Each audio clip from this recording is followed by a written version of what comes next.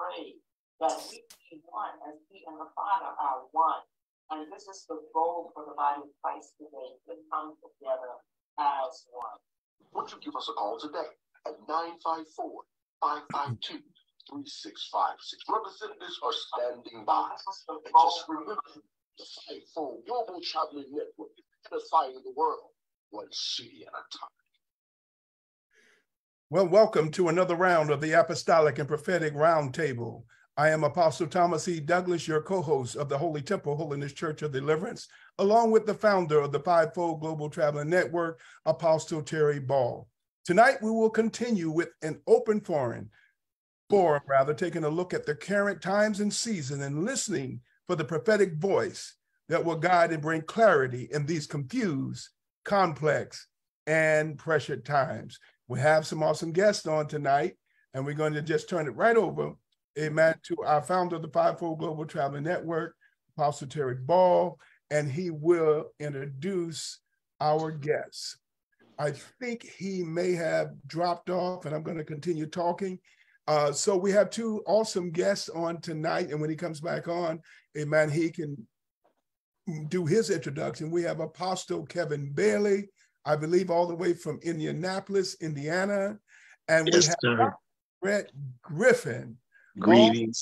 from Los Angeles, California. We're going to start with you, Dr. Brett Griff- Griffin. Give us a little bit about yourself. Tell a little bit about your ministry, how you got started, and what the Lord is doing in your area, your metron, and uh, sphere of influence. Well, good evening, everyone, and blessings to you. It is truly, I, I want to say, an honor um, Apostle Douglas to be here with you, Apostle uh, Terry Ball, and and my brothers, Pastor Ron. Um, I've been, I'm actually from Philadelphia, Pennsylvania, and the United States Air Force brought me to California close to 40 years ago. It wasn't long after being brought to California where uh, the Lord brought me back to the roots I had as a child. I'll say that. Um, the one daycare provider who was my mentor, she was actually my Elisha. And um, she taught me the fear of the Lord. I saw the power of God. Um, I had the pleasure of, of, of being acquainted with um, with uh, uh, Apostle Apostle Bailey, and actually Apostle Bailey. Um, I was raised in deliverance from five years old, so the first time I even saw the power of God, overturning the power of darkness and dealing with deliverance. And that daycare yes. provider taught me that no one has more mm-hmm. power than God. So I learned that God was all powerful. I learned that even as a child from three years old on to about nine years old, that only what you do for God will last. So in all of my endeavors, uh, I was in college at first to be a psychologist, and then I was going to be a lawyer. But after giving my life to Christ, he said, um, I need you to quit that because you're going to counsel my law. So read my Bible. And the Lord began to take me back to my roots after, give, after giving my life to him close to 40 years ago, actually. Um, and begin to to to reveal to me who I was and and show me that I was uh, long to the short ordained to be a mouthpiece for him and to counsel people with his word. I did five years of uh, youth pastoring, young prison ministry, outreach, uh, gang territory in Los Angeles, etc. Um, the Lord had me to do that until He consecrated me to reveal in me and through me what I studied through the scriptures. And he, because He began to reveal to me the kingdom and what the Lord revealed to me um, was that my kingdom is the only government that's eternal. And as a prophet and as a governmental prophet, whatever you cannot prove in your living is illegal with you as a mouthpiece. So the Lord consecrated me to be able to live what I had been studying and, and took me to another region, brought me back to uh, returned me to California and begin to connect me with, with leadership. This is a fruit of it in itself. Mm-hmm. Began to connect me with fivefold, primarily apostles and prophets in the rebuilding of the church for this hour. One of the things, if I may um, convey, is that, and one of the things that the Lord's been showing me in the past 20 years is that the church that we're looking at today as a church that was birthed in bondage. We're in a new age church where we don't know God, we don't respect God, we don't respect His righteousness nor His holiness. And so when Jeremiah began to prophesy to the children of Israel in Jeremiah 25, he said, Because of your idolatry, you are going into bondage and you're going to serve this king. But but God said later, I know the plans that I have for you. And so God began to prophesy through Jeremiah to his people, I'm going to bring you out of that bondage and then I'm going to rebuild. And I believe that this platform, even in itself, the fact this is my first, and full disclosure, this is my first invitation to a platform by a man of God where I am the only female on the platform. And the Lord is restoring the kingdom in the male and female expression of his apostolic and his movements. God is going to be moving through marriages, He's going to be restoring marriages, He's going to be revealing kingdom marriages because there's a work that needs to be done in the earth. And so, what the Lord has used me to do more so in the Southern California area was establish me with certain connections in ministry, but more so say, no, I'm going to the the mantle and, and inheritance you receive from your father, who was a Marine. And I learned community from my father at 10 years old. And the and the work of the household was music industry. So a lot of where God uses me is in music, in community, and in business. I, I, I teach kingdom principles to build uh, entrepreneurs in this region. Also work with uh, community giants that work with nonprofits of mentoring young women, um, those that help uh, build infrastructure with uh, digital marketing, etc. And so the Lord and in this region it's i work with all i work with asians i work with mexican americans i work with peruvians i work with european americans i work with african americans. And so in that what the lord is showing is the glory of the kingdom really through all the sons of noah and bringing things back together in a, in a unity and bringing me back to what I was raised in in the Northeast and saying, help build the people, help build humanity so that they may see the love of Christ, see their need for a savior, and even under, understand coming to the purpose of their destiny. So the Lord uses me more in working with leaders to help those. I'm, I'm really called to those who are to affect the multitudes. God, I'm not one that God is really called to be on big platforms with a lot of people all the time. So every once in a while, he'll orchestrate, even ha- as he did through Apostle Terry Ball, and say, I'd, I'd like you to be on this platform and just speak about many things. There are many things that God has revealed of what he wants to do in this last hour and through the church. And I'm watching it unfold. I'm watching God rebuild and restore by bringing his men of God forth like never before. God is restoring men as pillars of our society, of our community. And there's some hidden giants and superheroes that we haven't even seen yet. And I believe that the Lord is bringing forth. I myself was raised with 17 brothers. I have one sister. And hmm. so my father in the music business adopted adopted 11 young men because they want they were in the 60s, late 60s, they were a gang and a band. And so the profession of my household was music. So I grew up learning, learning men, learning the glory of God through the man. Why did you start with him? Why did you set the foundation in your male expression of who he was and then build and then take us, your idea, out of his side, make a resemblance, and then establish dominion? And I'm watching God restore that. I'm watching God restore mm. that in his kingdom. And I believe even in that, that's why there's been such an attack from the kingdom of darkness against the mm-hmm. identity of our young people, against the mm-hmm. identity of individuals, because the kingdom of God will come forth. It's time for the kingdom of God, and it's going to come forth with the glory that that He's ordained. I, I get excited in talking about the Lord. Um, those that know me, I would doubt myself if I didn't have the fruit to speak for what God has called me to do. But there are many husbands and wives, uh, men, women, young people. I also mentor Z Generation on a weekly basis.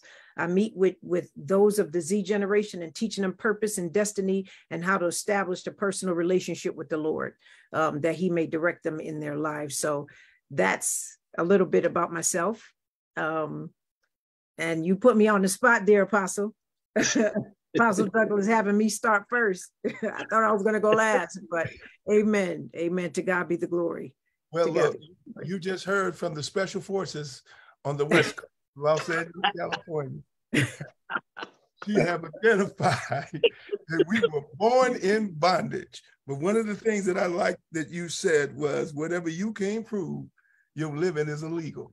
Yes, and sir. So when you when you mentioned that, that was valuable. We're not going to get in discussion yet. We're going to turn it over to Apostle Ball that he might introduce our next two guests, Apostle Kevin Bailey and Pastor Ron Hopper. Well, praise God. I want to say once again, welcome to everyone across America and, and abroad to the to the roundtable discussion. As you know, we get into great discussions on these roundtables, kingdom discussions.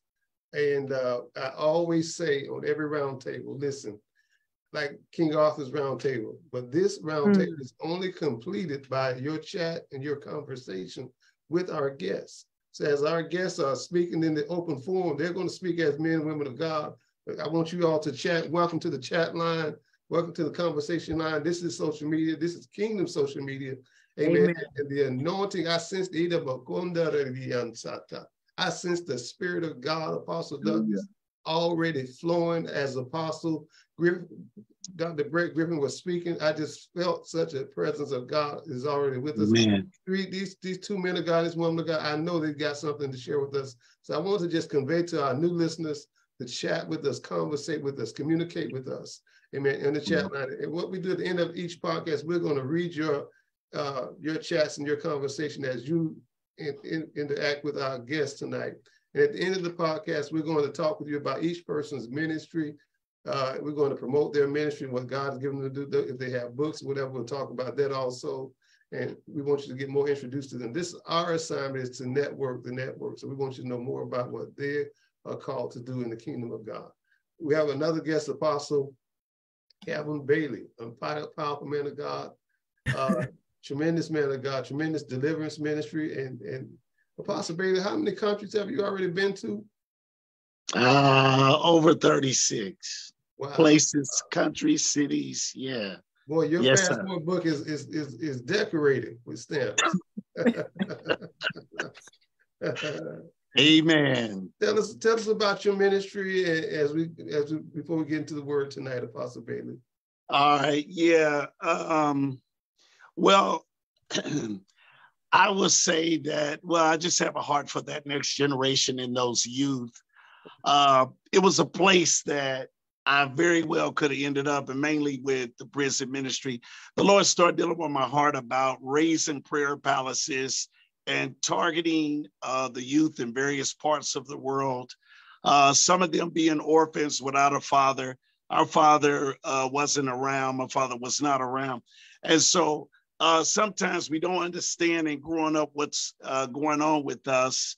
Uh, myself, from um, being involved in uh, the streets, uh, you know, run, running the running the streets, drugs, violence. Uh, I had a heart. I developed a heart for the people once God started to deal with me. Um, Thank you, Father. About that prison with those youth and the adult uh, because it was a place that that I could have very well ended up if I had continued down the path that uh, I was on. Uh, now, uh, over 23 years ago, um, and to deal with those that had made a confession. Uh, he was telling me that many that uh, they say they believe me, but they don't believe in me, and I want you to address this issue because many are connected with me by confession. Uh, and what I found out is that confession only, not never living anything or uh, just even going to church. Um, and what I told the Lord is that I wasn't going to do anything that was traditional.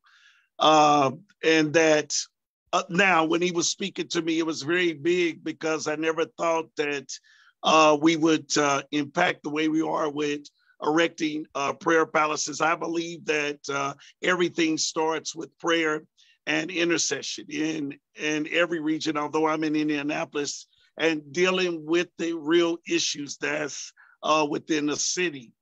Uh, I remember us going into. That's just a little bit about me, but our ministry is within 22 different nations uh, within the world. Our ministry is, and there's hundreds of intercessors that over time I've raised up by the grace of God uh, to um, do deliverance, healing ministry, prophecy, and many aspects of the apostolic and the prophetic ministry.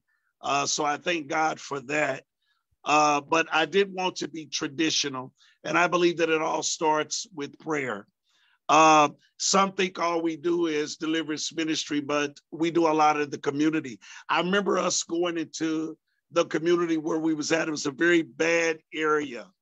Uh, and I'm like, God, you got to be kidding me. You know, uh, we give the, uh, the guy meets us there. I'm like, the windows is out. This place need carpet. He comes back months later. We like, you know, he said, like, you get the place, just give me um, I think it was hundred dollars at the time, seventy-five dollars, because we was in a house at first. Uh, but I knew what God had given to me, uh, and it was to reach those uh, young men and just reach those men, well, and women both, uh, with the uh, the gospel, not only the gospel, uh, but with the deliverance and healing ministry. Mm. and to impact, to, to, to train them up also, teach them how to be a member within a team, uh, but also be ready to be deployed because uh, we are trading up uh, a team, um, an army is what we were doing that we can deploy into different parts of the world. Uh, so I thank God uh, for that. Um, preaching, we we love preaching and teaching. I love preaching and teaching, but uh, the greatest miracle, of course, is salvation. Uh, this area, though, was very bad. Uh, they were saying, How are we going to survive here? Um, they were prostituting, uh, but I remember them, uh, a very bad area. I remember them telling us that no pastor comes here at 10 p.m. for prayer. Mm-hmm. the guy was telling me we ain't putting the mailbox up when I went into the area uh, because they just keep ripping the mailbox off. We said, put one on there. They won't rip ours off. So we started prayer at 10p to 6a. Uh, mm-hmm. And I remember a guy approaching us because we were going to, we would do prayer from 10 to 12:30 or one o'clock or so, and then go into these uh, uh, projects that was not far from the church. And he was saying, "Hey, don't no pastor come out here at night. Don't no pastor come to their church to pray." I said, "I'm not a pastor. I'm an apostle those are the pastors. We're all together, and we have pastors, teachers, and evangelists here. It, so what, what's the problem? Well, we're coming here to pray tonight. So uh, even when they got him, he was telling us if he catches in the apartments, he gonna shoot us. We kept going in there, and it was souls that was connected to our church that come out of there. Sometimes finding them with a syringe in their arm, dead, having to call the police things of that nature. So God always uh, knows what He is doing, and I'm just really blessed uh, that uh, we we was there for uh, quite some time. But I was really blessed. to say, God, you actually used me uh, to to bring to these people the truth and the gospel, and it's the very place I was. They're prostituting, they're selling drugs, they're gambling.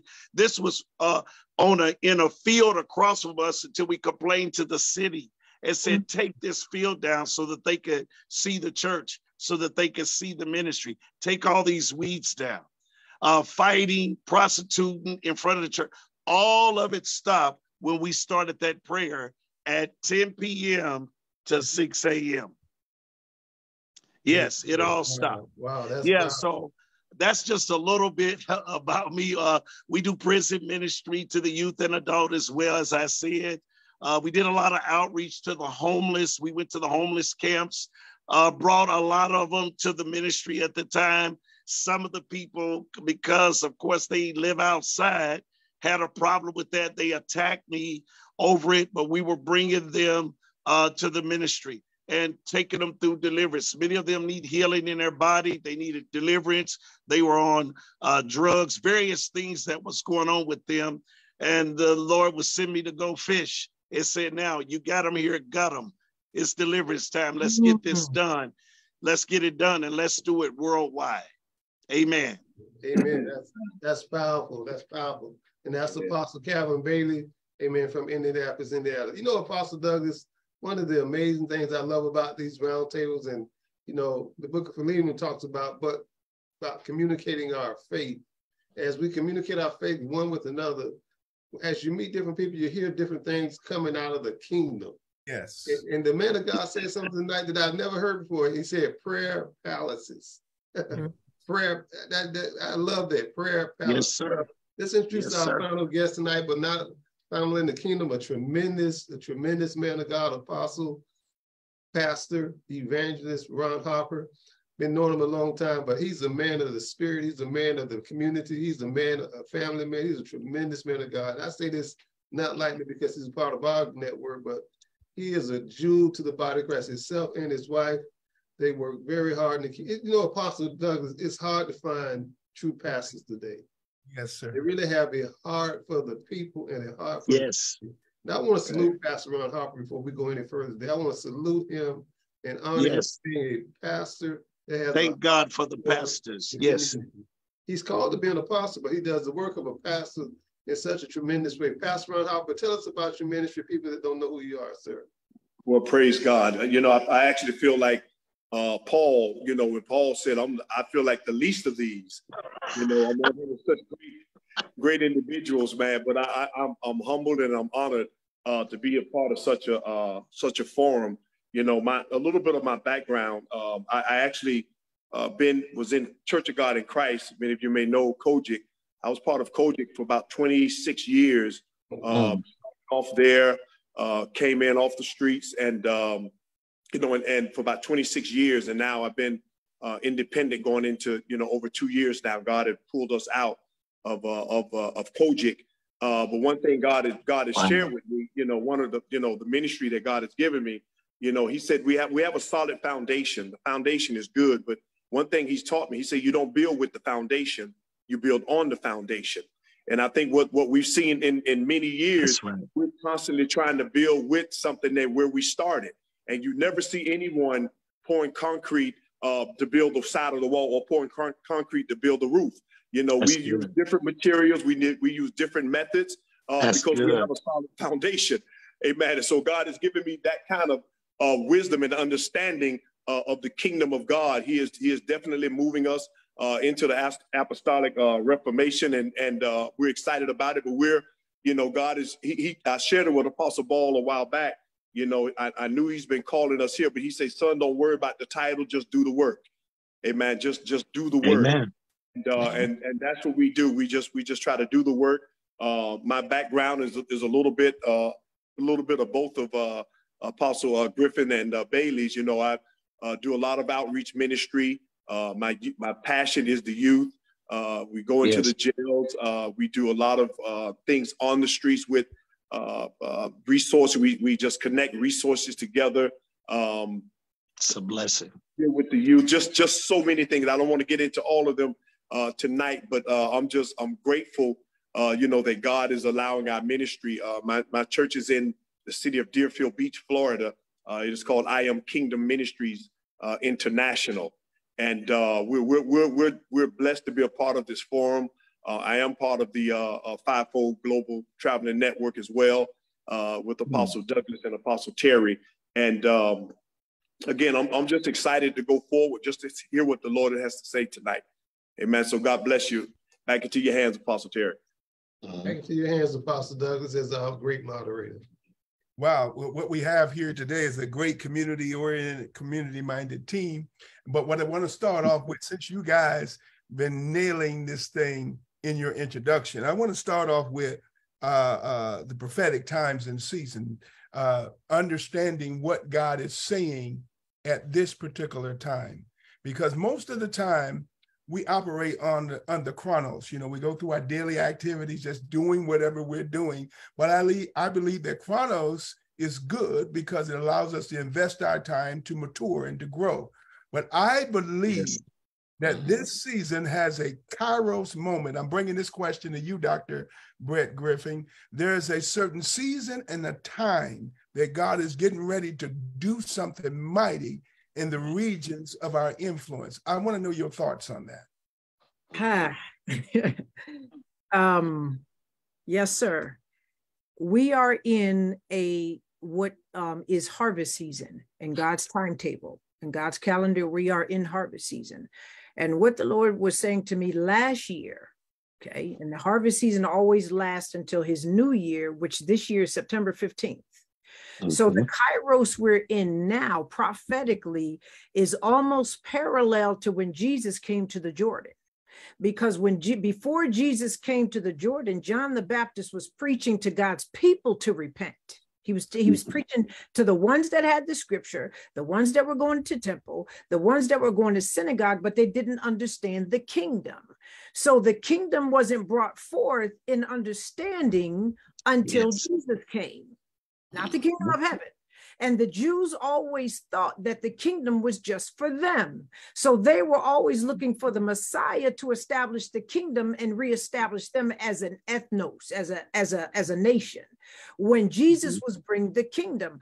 This is where we are now. We've gone through religion, we've gone through the evangelism, we've gone through great giants that have gone home to be with the Lord. Uh, uh, evangelist Billy Graham, uh, Apostle uh, Dr. Myles Munroe, Apostle Frederick K.C. Price, teaching ministry. We've gone to mm-hmm. where the, the pastors, the evangelists, the teachers have gone on to be with the Lord. And the Lord is establishing, reestablishing a new apostolic foundation. This, sir, oh, you want me to stop? No, I, am just witnessing with you. Oh, okay. To start all over again. And this mm-hmm. is why the outreach. So mm-hmm. God is saying, I need the Amen. same thing again because I need to reestablish the evangelists, reestablish the pastors, position the teachers, and now make disciples. And so I can set up these prayer palaces. So I can set up this global uh, mm-hmm. introduction of the church to the kingdom. Because mm-hmm. when Jesus came to the Jordan, he was introducing the Jews to the kingdom, but there was no church establishment yet. So now we've graduated through time, and the Lord is saying, Now I need the church to understand that my son coming is not just about you, it's about my kingdom. Mm-hmm. And you are to be the expression of my authority in the earth. You are to function right. in the earth the same way that my son did.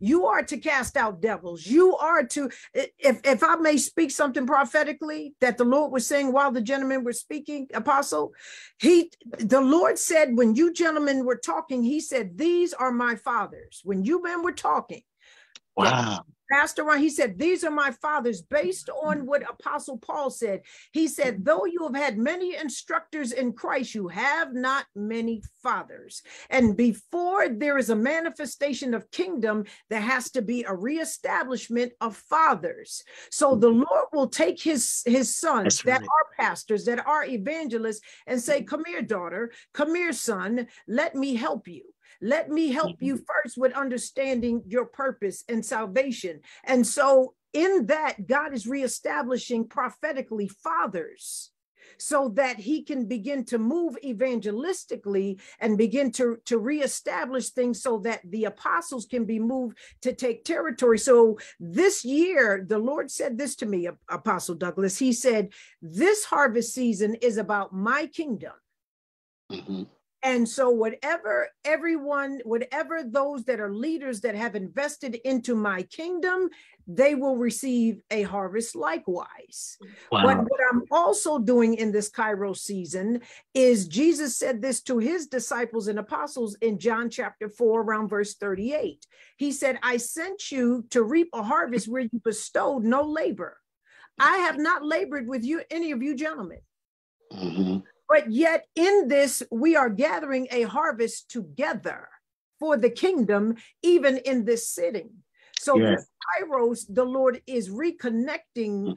Fivefold and apostolic ministry and say, I need you to gather my kingdom harvest. I That's need right. to reposition my fathers. I need to reposition my, my men and reestablish structure and pillars and bring forth the whole body as one so that we can establish the kingdom of God. So that's my thoughts on that.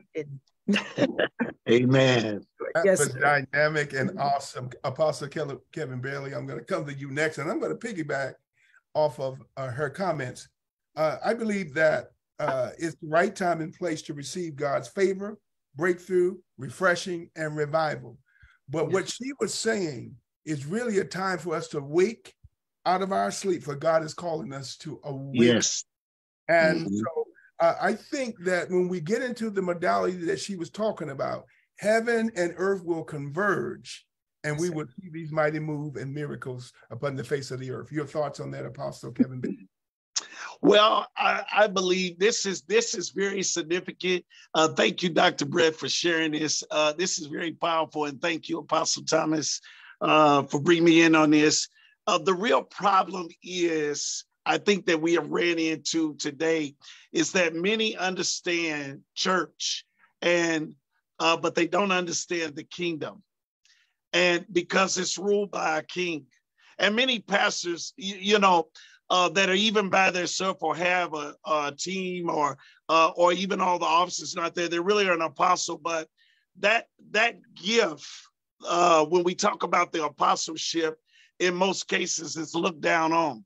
It's only pastor and evangelist, and we have our pastors leaving uh, the the church at an all time high.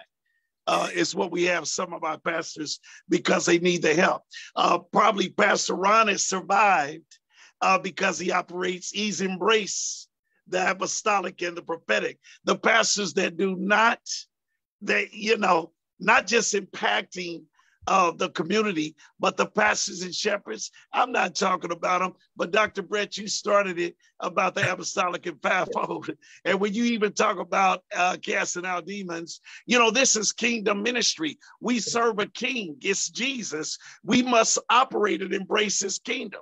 You listen, John said, hey, repent, for the kingdom of God is at hand. This is what John said. Repent.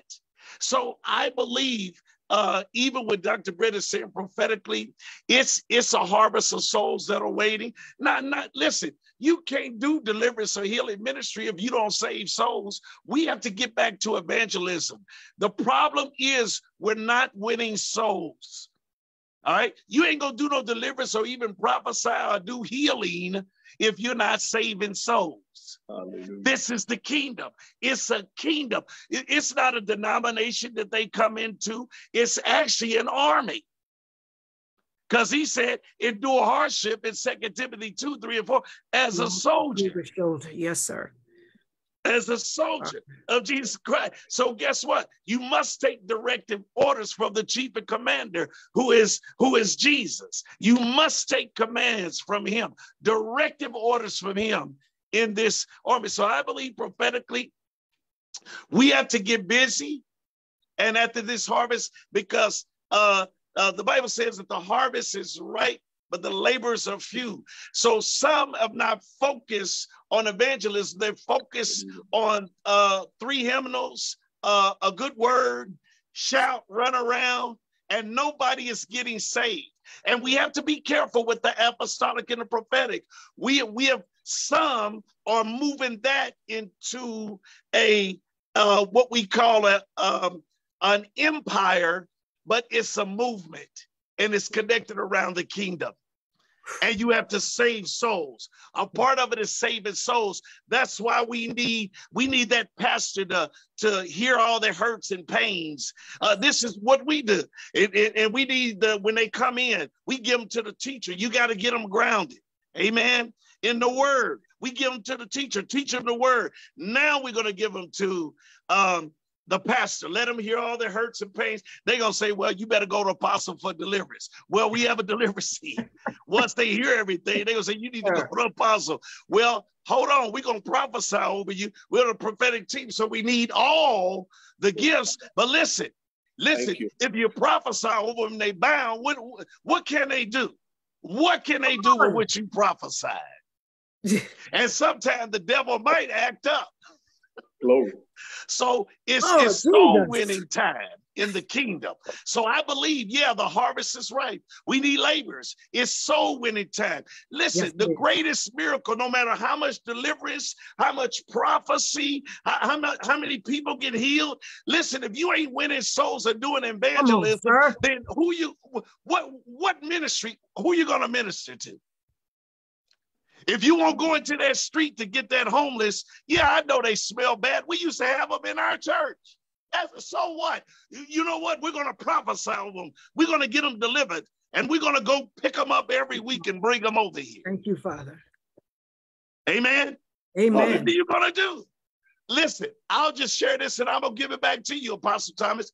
The prison where I go was ready to let, I said, hey, I can get a place to donate shirts and pants.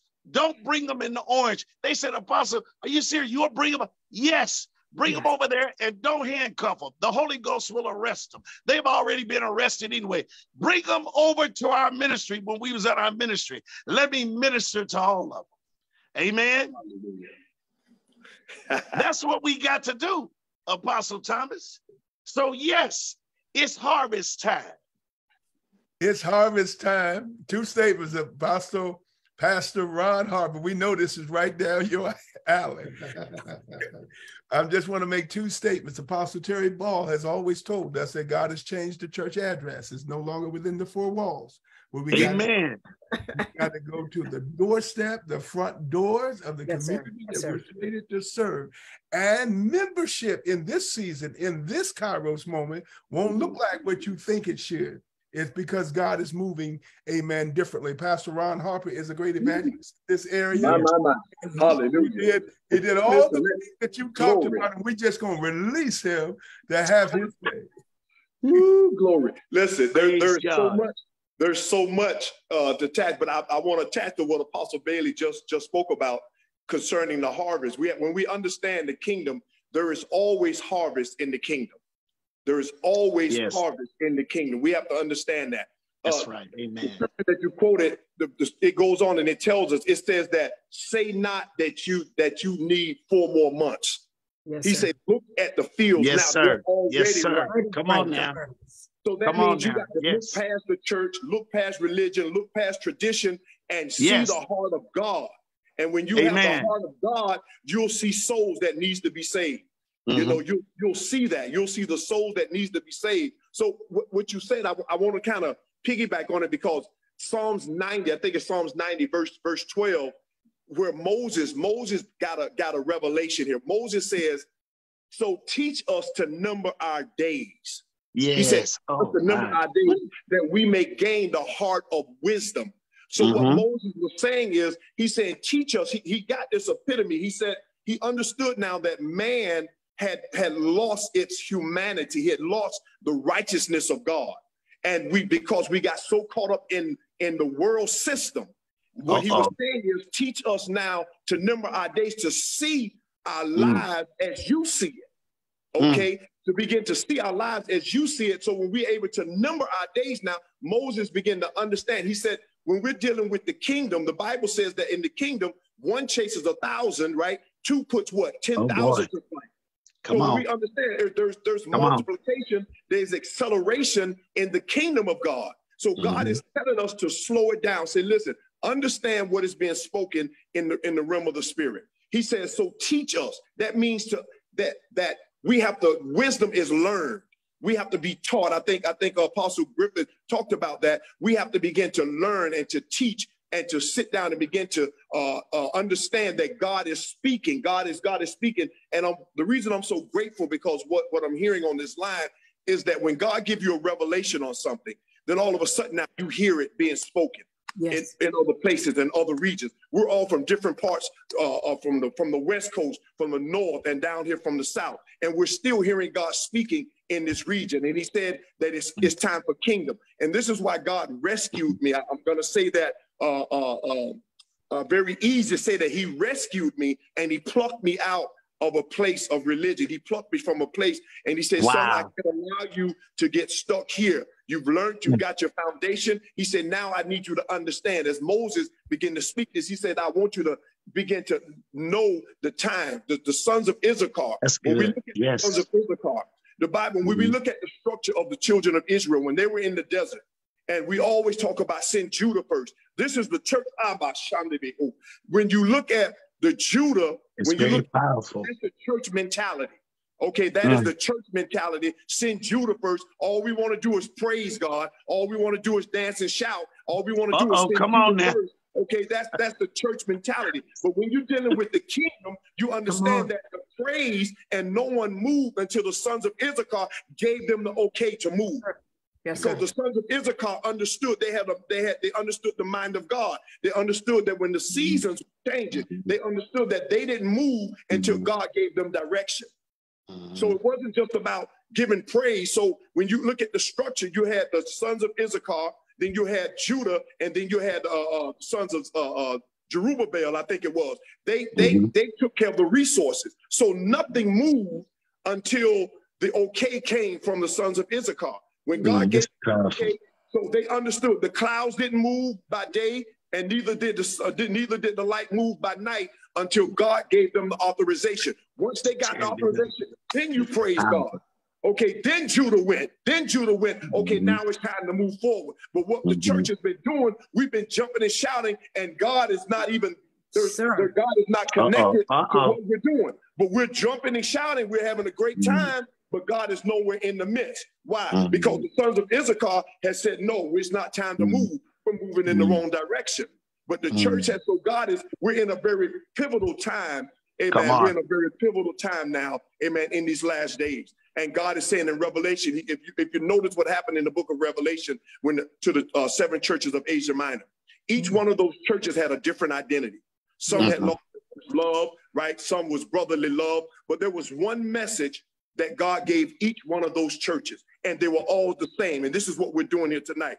Each one of them ended with, He that has an ear, let him hear what the yes. Spirit is saying unto the church. Yes. I don't care how you had church before COVID. I don't care how you what your church was made up before COVID. When God when God began to shift, He said, "He that has an ear." What we did, we didn't stop to listen what God was saying in this yeah, season. Come on. I, heard Apostle Paul say this. There was a judgment of God. If you notice something, nobody cast out COVID. Hallelujah. Mm-hmm. Nobody cast out COVID. Amen. I don't care how much you prayed and you fasted because it was a judgment of God, amen, to the world to get us to stop and to hear what he was saying, amen, to the believers. Nobody, yes, some of us caught it and we were healed from it, but no one cast it out until God set it and let it and set it loose and tied it up. Amen. We had to go through the process. But in the midst of going through the process, he that has an ear, let him hear what the Spirit is saying unto the church. What we were doing is trying to hurry up and have church as usual. God says, no, that's not the format. That is not mm-hmm. the format. I'm trying to get you to see what I'm doing in this season. And it'll never be the same. Amen. So when we look mm. at it, we're, we're dealing with the urgency of now. If we're going to talk about it, we have to understand and see the urgency of now. What is it that God is doing now to prepare us for the next? I'm, I'm relieving myself, Apostle Thomas. Go ahead, sir. Listen, the sons of Issachar understood the now time of God. Dr. Brett Griffin, I, I while Apostle Ron was speaking, I, I, I came up with a scripture. I'm going to go to Romans 13 and 11, a, a part of that, and I want you to respond. And it says this, and do this knowing the time, the kairos, the time, that is now high time to wake out of sleep, for now our salvation is nearer than when we first believed. The night is far spent, the day is at hand. It is high time. In other words, it is now the set time mm-hmm. Move in the giftings, the fivefold mm-hmm. of yes. God amen, to bring deliverance to the kingdom. Amen. Your thoughts on that, Dr. Brett Griffin? Mm-hmm. Uh, I believe that my thoughts. When Paul that when Paul said this, there was a that the first thing was that there what God is doing is restoring a sense of urgency to the church because when Paul wrote it and everything he wrote, he wrote with a sense of urgency for the church to be ready for the coming for the for the second coming of Christ, for him to return. And in this and i always look at in studying the scripture who he who is he speaking to and what's interesting in that you in quoting this scripture is the culture of america is as was the culture of rome And so in that there was there was the focus. Uh, uh, uh, uh Apostle uh, Bailey and I were talking about it earlier. There was a focus of image. There was a focus of power. There was a focus of position. There was all these focuses that were going on, and God is saying, "Look, what is what I am showing you, even as a, uh, Pastor Ron, Apostle Ron was speaking, as all the things you trusted in are beginning to fail. And I'm allowing them to fail to wake you up. And every time God, every time God had to awaken his people, it was either with a famine, it was either with pestilence, or it, it was either with war. And this is a position that America, has been in because it started really in 2001, which was a threat of war, of the sword. And then it came, it was supposed to be economic, whatever, whatever, in 2008. And then come came COVID. And so that scripture that you read is prophesying to us to say, what else is there to do? This is temporary. It's, time to wake up out of sleep and prepare yourself for the coming of the Lord. But before that time, before that coming comes, there is an alignment that we have to get in but we can't get in that if we're missing the kairos moment. The Lord showed me this image some time ago. I don't remember what it was, when it was, but He said, When the time comes that I visit the church, he said there's going to be three groups of people. And he showed me an image of people who were just, as we call lollygagging, uh, you know, as we used to say, lollygagging and out doing whatever and needed to be home packing, but were not. And then there were those that said, I know there's coming a return for me, but I'm gonna pack a little bit, but getting distracted every once in a while. So I'll pack a suit or I'll pack this, but I'll I'll intend to pack these shoes, but I'm only gonna put one pair in, get a little toiletries and put them in the bag. And then there are those who says, I'm keeping myself ready, I'm keeping myself awake, I'm keeping myself sober. So I'm going to pack everything and just wait for the sound of the trumpet. And what is happening in, in this awakening is the sound of the trumpet is beginning to sound because God is bringing and has brought a famine of the words of the Lord. There's not many people speaking the words of the Lord. And so what is happening is there are there are those things that are going to cause people to either have to try to run and pack right away, grab a half packed suitcase, or say, I've been waiting for this, and grab their whole bag and say, Let's go, where we're going. And so God is distinguishing in this hour those three because God does not give you. God may give you a word, but you have a season to become in agreement with what in obedience to what he said. Because once that season is gone, no different than the children of Israel who had who tempted God 10 times in the first generation, and God said, You're not going. I've given you time after time after time, and you missed the season to come into obedience and alignment with what I said. And so what God is is is doing, there is an awakening coming to everybody, but you have people with different uh, uh, that are at different readiness levels. Yes. Because the awakening mm. is here and is coming, but you have us that are at different awakening levels. So you're going to have to have some that are going to have to rush and do the first works all over again. Somebody was talking about the churches of Asia. Then you're going to have those that that says I lost a lot and missed a lot because I got away from my first love. And then you have those that just got the the the the doctrine of the Nicolaitans or allowed Jezebel mm-hmm. to have her way etc. And so now it's you got to get your butt whooped, and then okay, if you really want to make it and wake up, then you can go.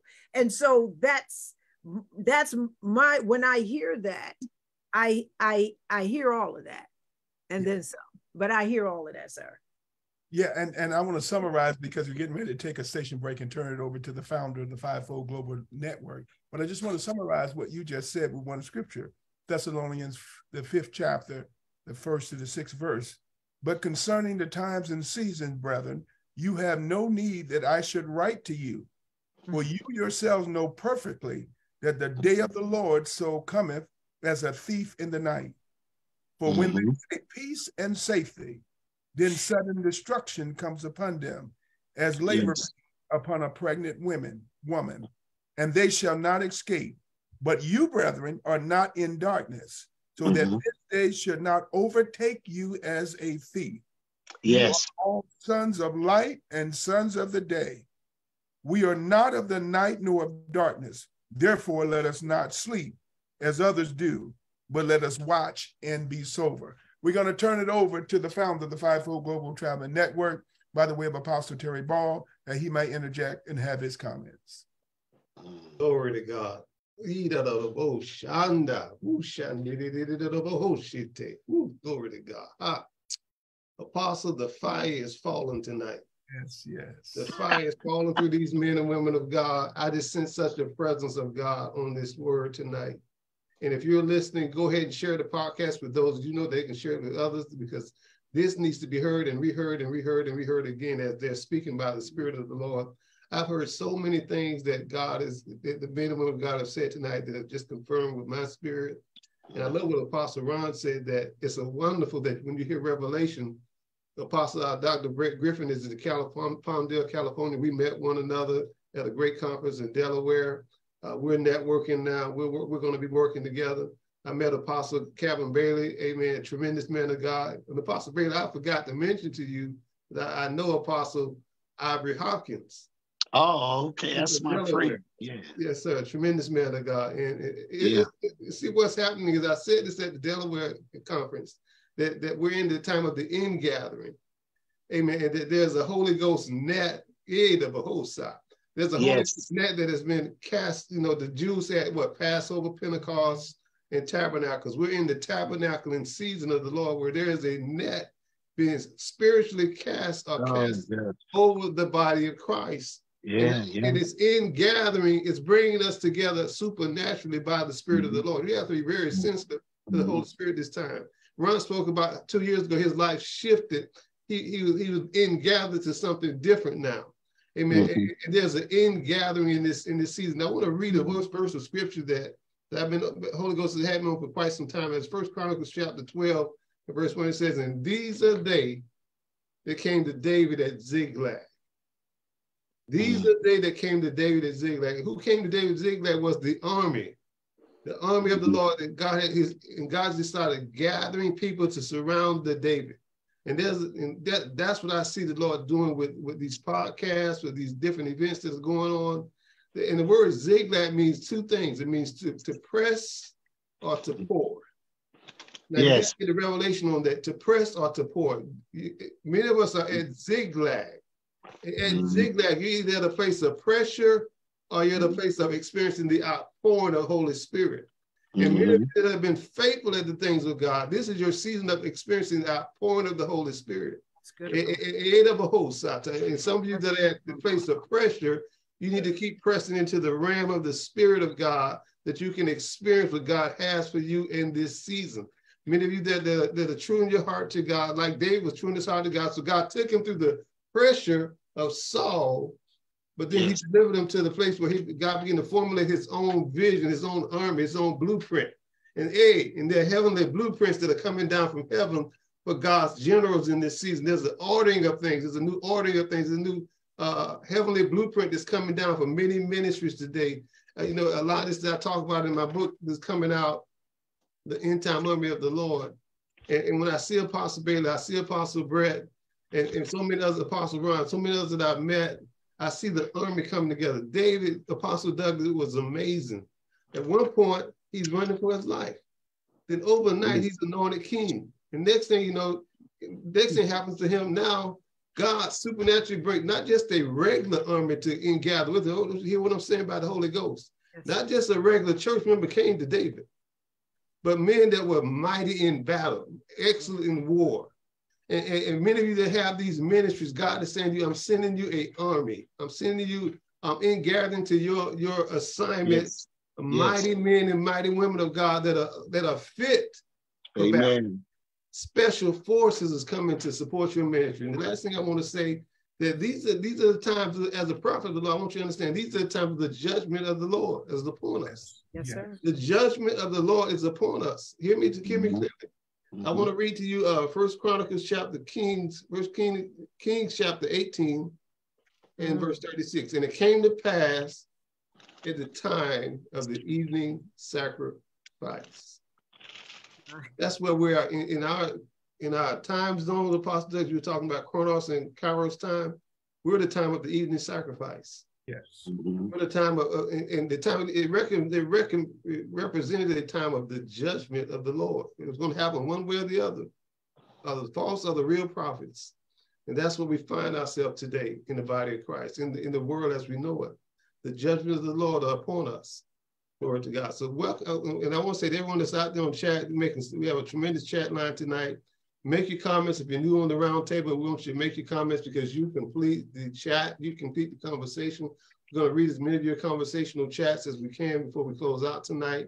We're going to also introduce you to these tremendous ministries. We want you to network with them. Many of you that I see online want you to network with Pastor Ron, uh, Dr. Britt, Apostle Bailey. We want to network your ministries together, make some new connections because that's our assignment as a network is to network the Amen. networks.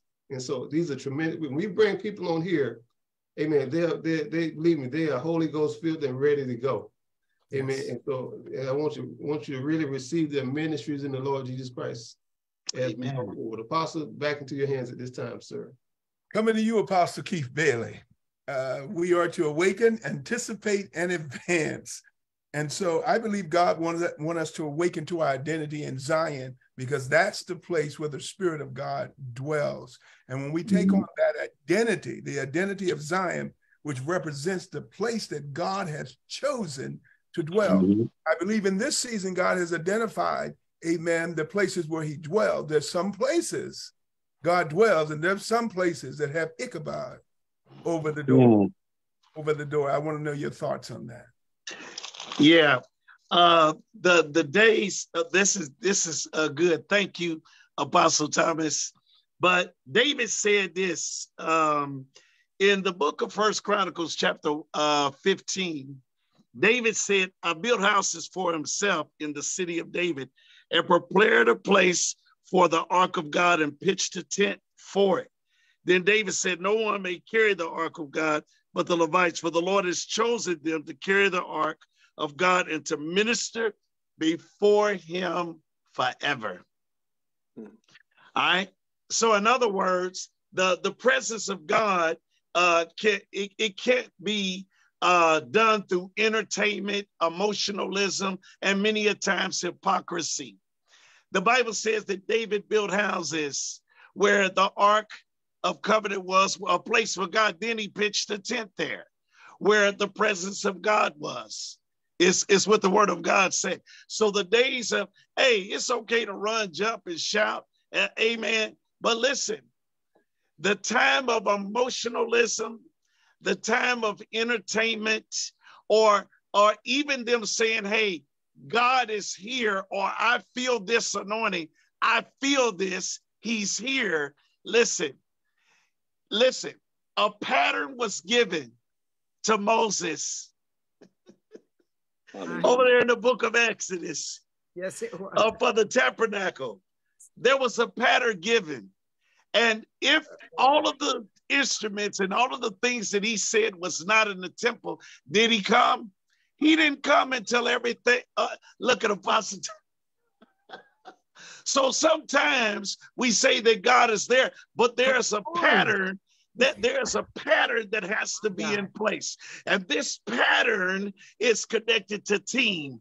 This pattern is connected to networking. Why are you uh, uh, tripping? Because this person is uh, doing this for God and doing this. The Bible says in First Chronicles 12 and 7 that there are many ministries, but and different diversities, but for the profit of all. Yes. In First Corinthians 12, 7 and 8, go look at. So, so the reality is that why does it matter? So that competition demon needs to be exposed tonight. Because we're not competing with anybody. It's about advancing the kingdom. And and it's so what they don't do what you do, but it's the pattern. Is the Ark of Covenant there? Is the pattern there? They'll say, Oh, I feel the Holy Ghost. Let me, I feel the Holy. But the reality is that it's an act. Yes. It's hypocrisy, which is play acting. pretending. Mm. Those days are over. Those who remain in that place, hey, sure. the ministries will become obsolete. Because yeah. listen, the world is mocking us right now because they see the disunity, uh, they see the competition, the pride, the greed. I could go on and on. Listen, we must embrace, because the ark of God is the presence of God. It is time for the presence of God. In, in all of our houses, no matter what houses we're in, all over the world, it's time for the presence of God. Amen. It's Amen. time for us to embrace it, the presence of God. No more emotionalism or uh, faking it till we make it, going through the motions. And listen, if you don't have the grace, get somebody up there who who got it, and let's let's do something. And and that's why a team is needed.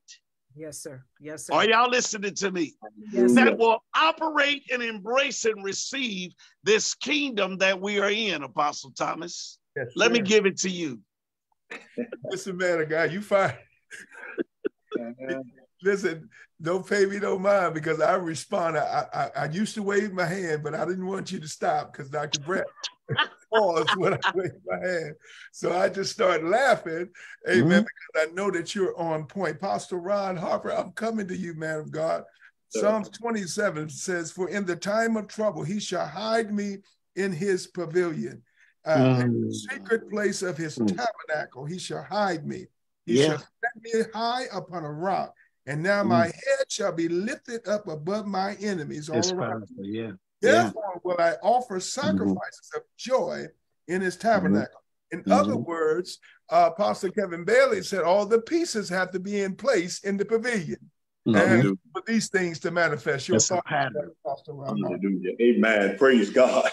Hallelujah. So when, when you deal with Psalm 27, I have I have to connect that to Psalms 91. I have to connect that to Psalms mm-hmm. 91 because Psalms 91 tells us it says that he that dwelleth in the mm. secret place of the yes. Most High, right? He that dwells, so that means he that possesses that atmosphere, he that lives there, he mm-hmm. that looks to please God. That's a place of resident. Okay, it's not a place that I visit on Sundays. You say he that dwelleth in that place. Then it mm-hmm. then watch how it picks it up. It says, shall abide under the shadows of the Almighty. So that means that when you're that close, where, wherever God moves, his shadow moves. And when the shadow moves, because I'm abiding under the shadows of the Almighty, right? Then I'm moving along with the shadow. So wherever God moves, I'm moving along with him. Ephesians 5, Ephesians 5 15, it, it tells mm-hmm. us is that see then that we walk circumspectly, not as fools, right? Mm-hmm. But as wise, redeeming and mm-hmm. understanding the times, amen, mm-hmm. because we are mm-hmm. in the last and we're in some evil days. Mm-hmm. Understanding yes. that I have to position or reposition myself so that I can understand the principles and the movement of God. Colossians 4 and 5 also picks it up. Colossians 4 and 5 says that walk in wisdom towards them that are without, redeeming the time, understanding the season. Okay, understanding that now God has called me to a place now to dwell in his kingdom. What, what does that mean? So we, we pick that up with, with Matthew chapter 6 with, with the prayer. Jesus, Jesus said that when you pray, pray, pray it like this. Jesus had he was he was giving us something so prophetic. He said, yeah. when you pray, pray it like this. First, our Father, which art in heaven, hallowed be thy name. Watch what he says. Thy kingdom, what? Come. come. Thy kingdom come. So what does that mean? I can only call for the kingdom to come when I am a citizen of the kingdom of God. I can't go in a place that, I'm, yeah. that I don't have residence.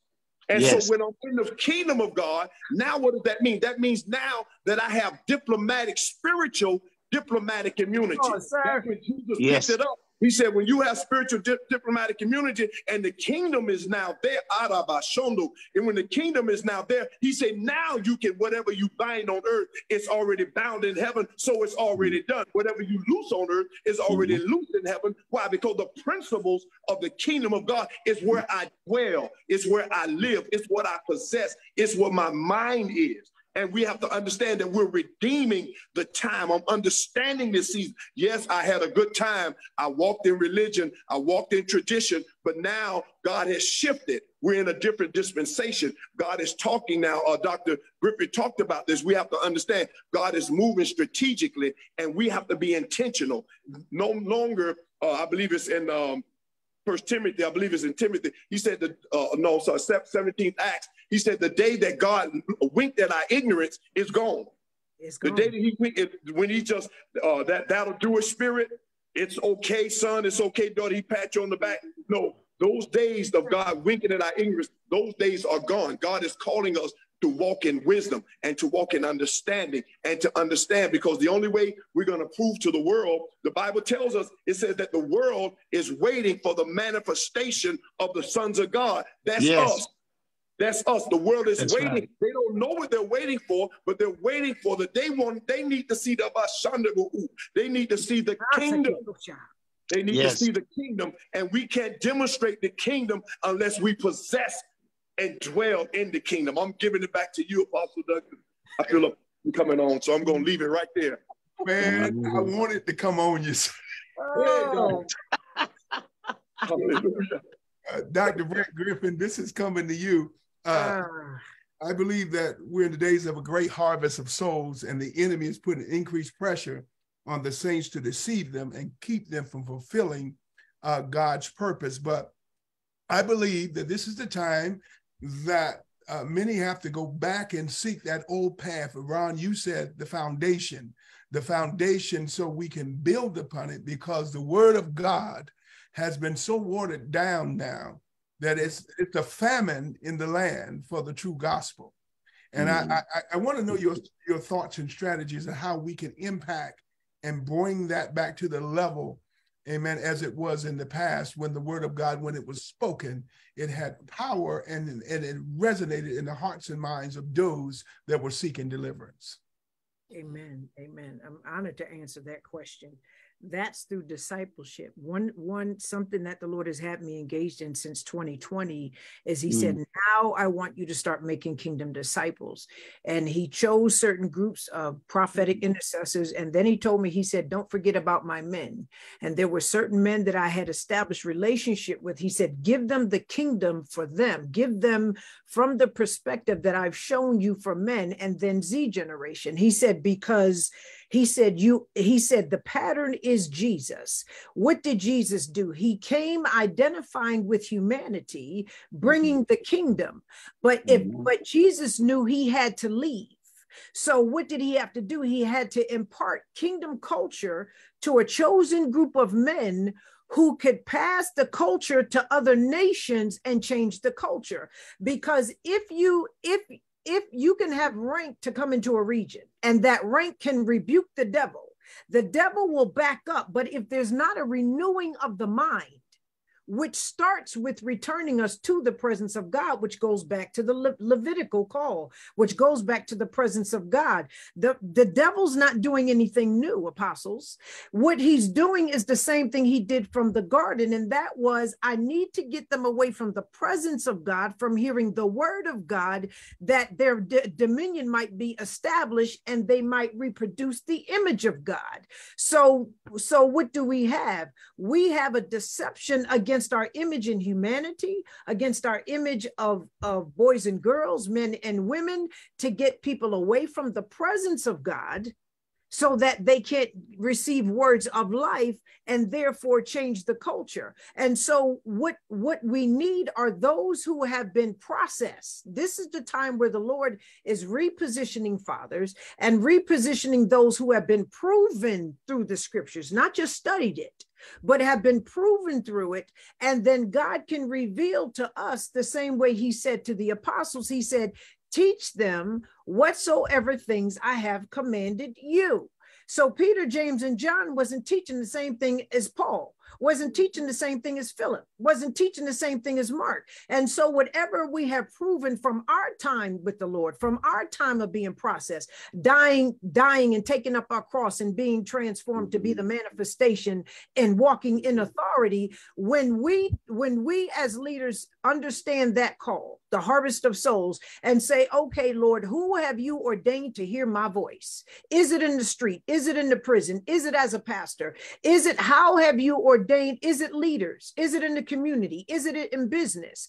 And then we begin to disciple and teach people how to how to for one understanding that you were born with a fallen nature that fallen nature can only be eradicated through the blood of jesus right and then teaching them in whatever sphere of influence that they have whether it's in ministry kingdoms of men teaching them how to interpret according to the mind of God and in that sphere of influence and then and and then multiply and then they make disciples. So mm-hmm. everything god is taking apostles back to genesis 126 let us make man in our image after our likeness and let them have dominion. So mm-hmm. then there has to come the process which comes to transformation then the manifest then the, as the transformation and the manifestation then we reproduce ourselves mm-hmm. in the image of we re, uh, the only thing we can get the only thing i can give anybody is what i've already been given i can't give any more than that mm-hmm. I can't build, someone mentioned a foundation. Let every man take heed how he build upon. The only foundation that any man can lay is the foundation of Jesus Christ. So let every man take heed how he builds on that foundation. So in the laying of foundation, the what is to be built upon the foundation, how are you to build and how are we to reproduce how are we to take who we have become, our transformation and manifestation, and be able to be led by the Spirit of God as to who He's ordained to hear our voice? Mm. And, and then reproduce what's what's been given to us. And that because the, the devil's biggest fear is to be exposed. Yes. That's his biggest fear. And so, if we become the light, like God, when He created and set things in order in the earth, He didn't say, I rebuke you, darkness. He commanded the light to be. And I believe that those who are light, and if we become the light, if we walk as light, as light in the earth, and be a preservative and a salt in the earth, then darkness will have to flee. Turn the light on. Time to turn the light back on. Mm-hmm. I believe, I believe, Dr. Brett Griffin, that you have amen, you've hit a, a, a sore spot in community, in the world, mm-hmm. is mm-hmm. because once we turn that light on and sprinkle that salt, there will be no gender confusion. I'm coming to you, Apostle Kevin Bailey. Oh.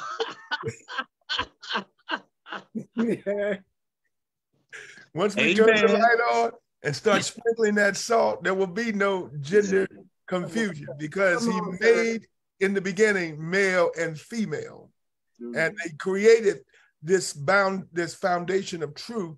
But what we've been trying to do in the community is a tiptoe around light and salt which is the answer to the problem. And coming yes. up with illegitimate strategies that will not impact. Your thoughts on that apostle kevin bailey? Um, oof. okay. Uh, thank you apostle thomas for bringing that to me. But here, here's well, the time that we live in, well, first of all, I'm going to read a scripture because what we have done is um, they have said that man uh, has defined marriage.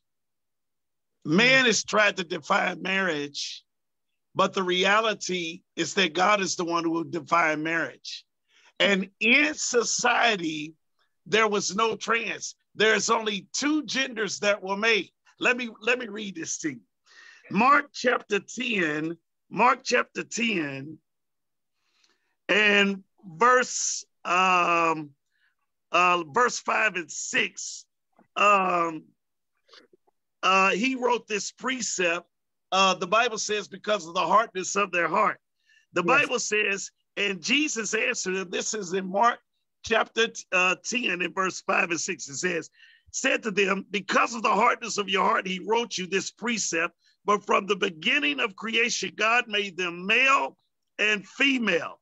For this reason, man shall live his father and mother, be joined to his wife, and the two shall become flesh. Mm. So then they are no longer two, but one flesh. Therefore, what God has joined together, let no man separate. The society that we live in, one week you can be a car, a bus, a, a, a truck, or if you identify with a, a, a, a animal, you can be that. There was a young man that said, Hey, I'm a cat. He put, put some claws on. This was all online at some point. Uh, spiked his hair black, put on eyeliner, all this stuff, saying he was a cat, and that if he was gonna uh, tell get them for a hate crime if they did not bring a litter into the bathroom. are, are y'all there?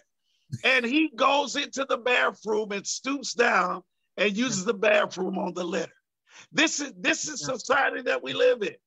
And the problem is uh, that salt that we are supposed to be, because when we talk about salt, salt brings it's a preservative.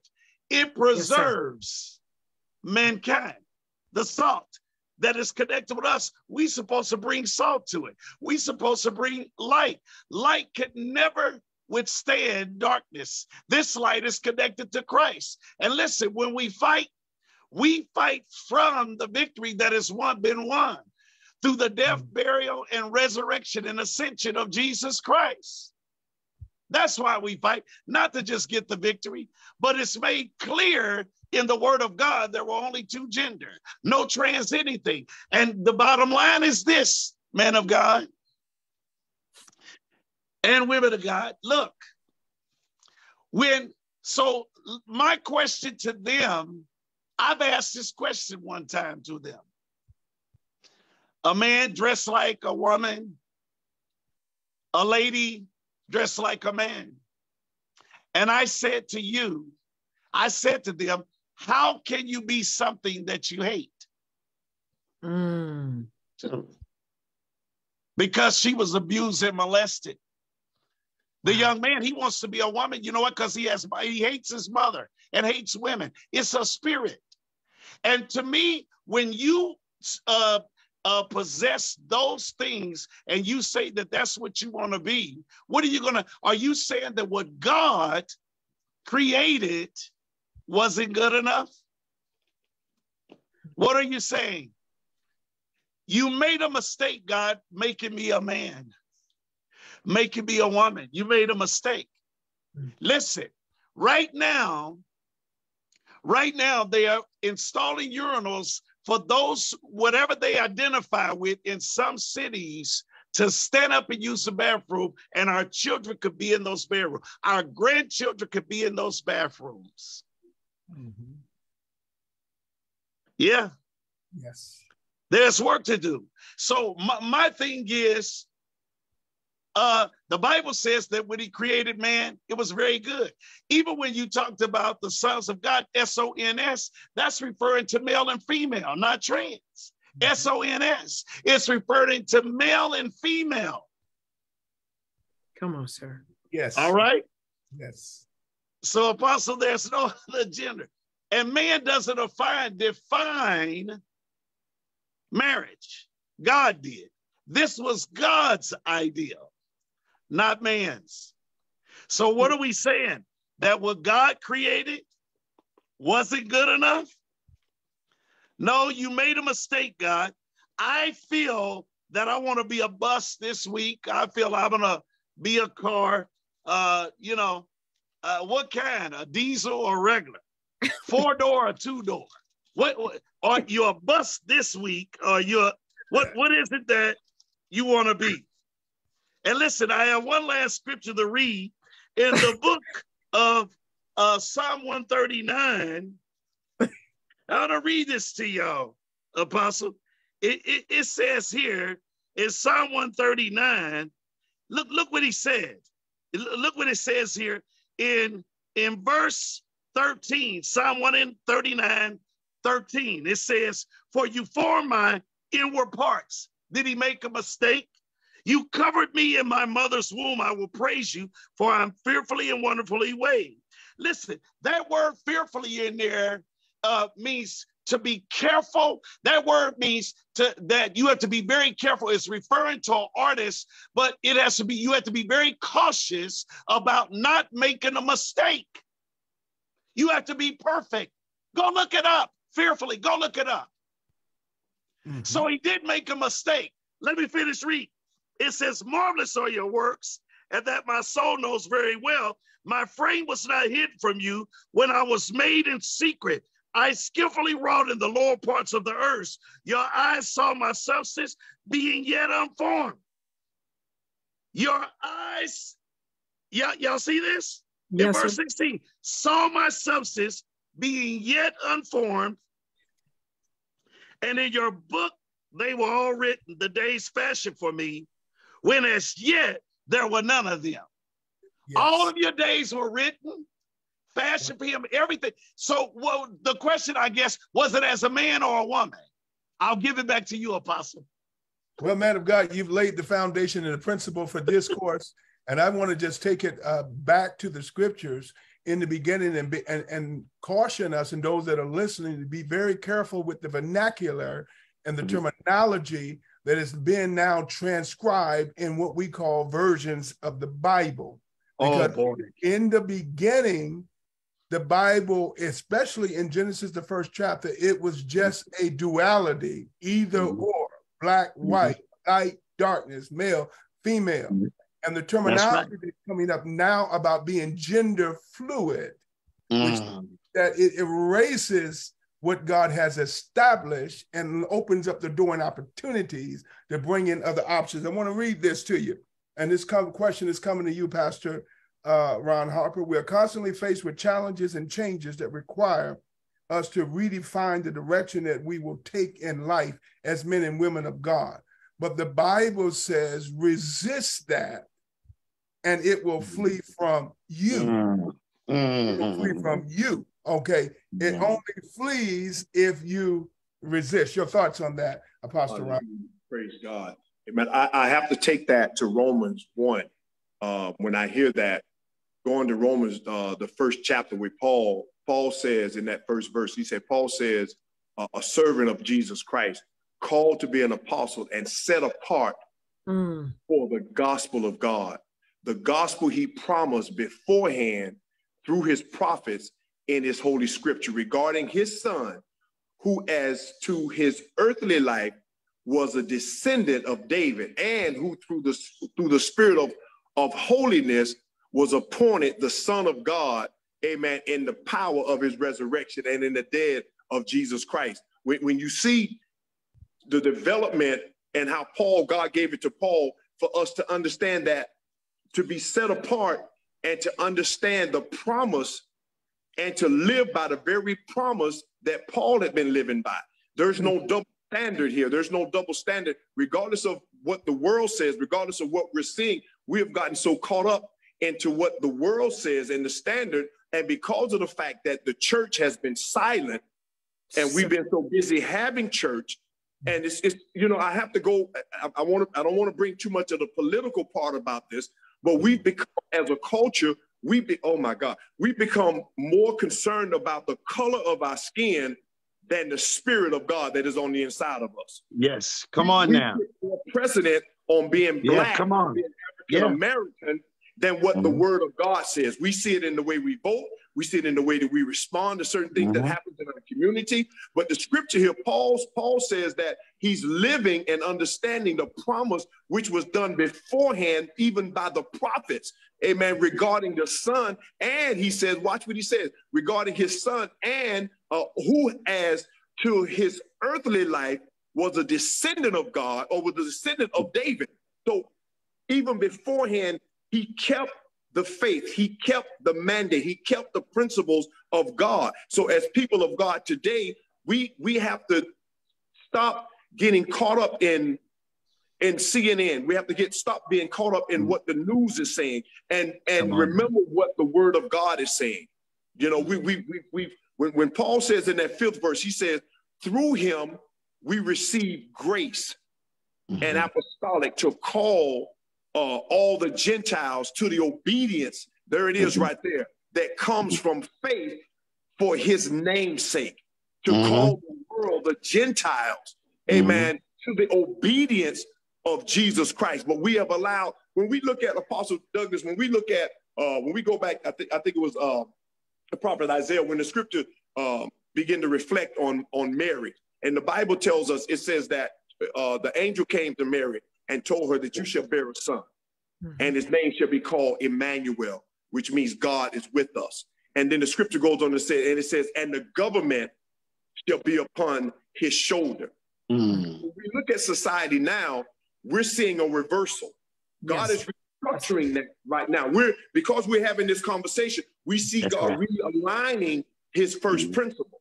But when we look at how the church and how the world has been set up now, we've been riding uh, uh, on the shoulders of the government. What does that mean? That means that whatever they say, we go for it. Mm-hmm. Amen. Whatever the world says, we yield to it. Mm-hmm. Amen. We, we don't stand for biblical principles. We don't stand for what oh, God is saying this season. So God Come is reversing. Amen. He's reversing, amen, back to his original plan for man. It, Paul says it here. He says the gospel that he promised beforehand that was written by the prophets. But we have to be careful just, just because and, and just because uh, the government is able to give me a grant. And so now I'm gonna yeah. I'm gonna yield to the principles that yeah. God told me to yield to get that. Come on, come on, come on, God yes. Me, but because they offered me devil, five hundred thousand yes. dollars, because yes, come on. they offered me, I'm not come gonna say now. in Jesus' name. Yeah. Hallelujah. I'm not gonna say in Jesus' name. I'm gonna, I'm gonna, I'm gonna make, I'm gonna find a way to say that in his name or in our creator's name, or or I'm gonna try to water it down. Or in Christ's name. Exactly. So so you know, it, it reminds me several years ago, I was working with this nonprofit and I was over their mentorship. And um, God was doing, we were blessing, we, we were working with a lot of the kids that were aging out of foster care because there was nowhere for them to go. They were being they were being scooped up with prostitution and human trafficking and all these things. So, uh-huh. so this the gay agenda came about, and they were they were they wanted to start a program um, to where they wanted to teach young kids how to be gay, how to be uh-huh. homosexual. Okay, and they asked me to head up this program. They were so excited to get the grant. There was like a million dollar grant for the organization that I was with.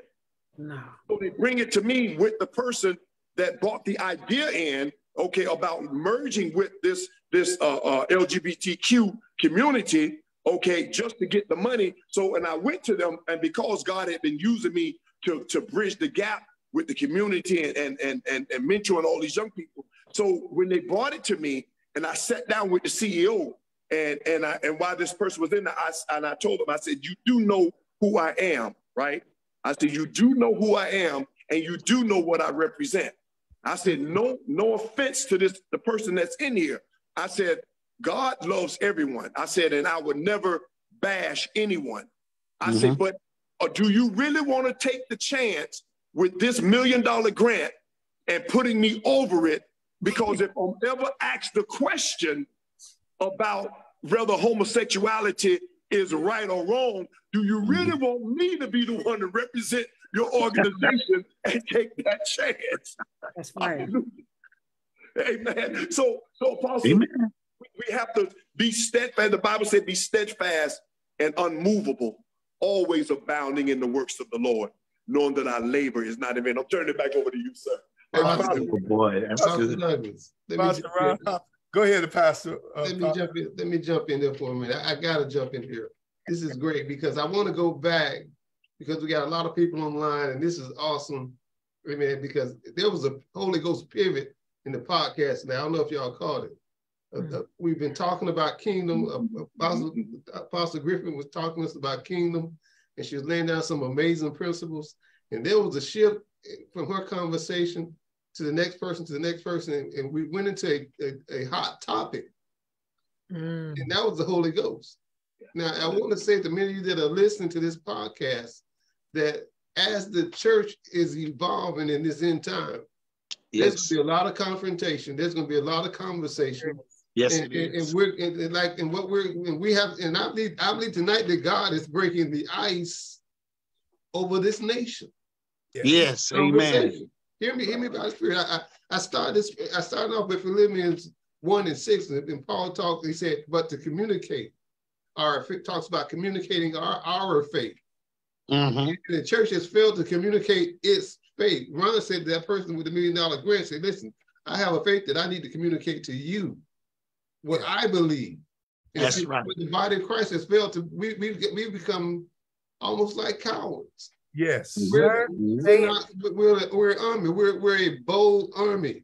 The Lord has uttered his voice before his army, Apostle Douglas, and we have to become bold in, in what we believe and what we stand for in the That's love right. of God. We're doing it in the love of God. But I just wanted to point that out that there was a Holy Ghost shift, Apostle Douglas. I know you picked it up in, in the podcast tonight, and that happens on these roundtables a lot of times. And so I just want to say, listen, we're here as apostles to accelerate the body of Christ into the move of the Holy Spirit. Whatever that is, we're going in that direction. And, we, and I just want to say that as the founder of this podcast, I had to stop in and make, make a station break there and say that we confirm this message. Yes. I confirm this message. Amen. I confirm the direction the Holy Ghost is taking us tonight. Thank all of you for what you're doing by the Spirit of the Lord. We have to be bold. We have to be uh, confronting. We have to. That's a part of the, the apostles' mantle of ministry. Not much of the apostles' ministry is not behind the pulpit. It's No, being sent into the community That's to it. accelerate and to demonstrate the truth of the Word of God. And that's, That's what we're doing this podcast. And I thank you, apostles. Thank all three of you for, for your words. And I just want to go ahead, apostle. Let the Lord use me. I just want to jump in and say that tonight. Well, yeah, that, you, you're right on point because what I was going to follow behind Apostle uh, Ron Harper, yeah, you know, you're touching a nerve. You're touching a nerve today. I know. And uh, many people are driven by the wrong things guilt, anger, resentment, fear, but mostly by compromise. Now, Pastor Ron Harper, you took us all the way back. Now, you remember you were working for one agency, I was right. working for the other. Yes, sir. Yes, sir. And we both, not knowing that you said the same thing, I was vice president of family services, and I Mm. turned it down Yes. And said I would not receive the grant, and I was threatened to be fired.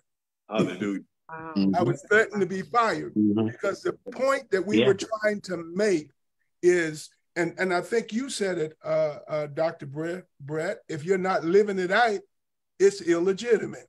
Yes, sir. So what God is saying in this season, that we got to present our bodies That's right. living sacrifice, Mhm. holy and acceptable unto Amen. God, Yes, which is sir. our reasonable service. But you hit a nerve, Pastor Ron Harper, when you talked about these grants, because many ministries are funded by that, and they Mhm. compromise with the stance. Because something I want us to always remember, and those of us that are out there, you may have a disagreement and you might have an agreement, but the minute you put your church Mhm. under the 501c3, sir. You have given up your sovereignty. It's in the document. Mhm. That's why you always put it on the outreach or anything like that. Yeah. But if you put it on your ministry, you've given up your sovereignty. And many of us don't read that two, two to three paragraphs that says that.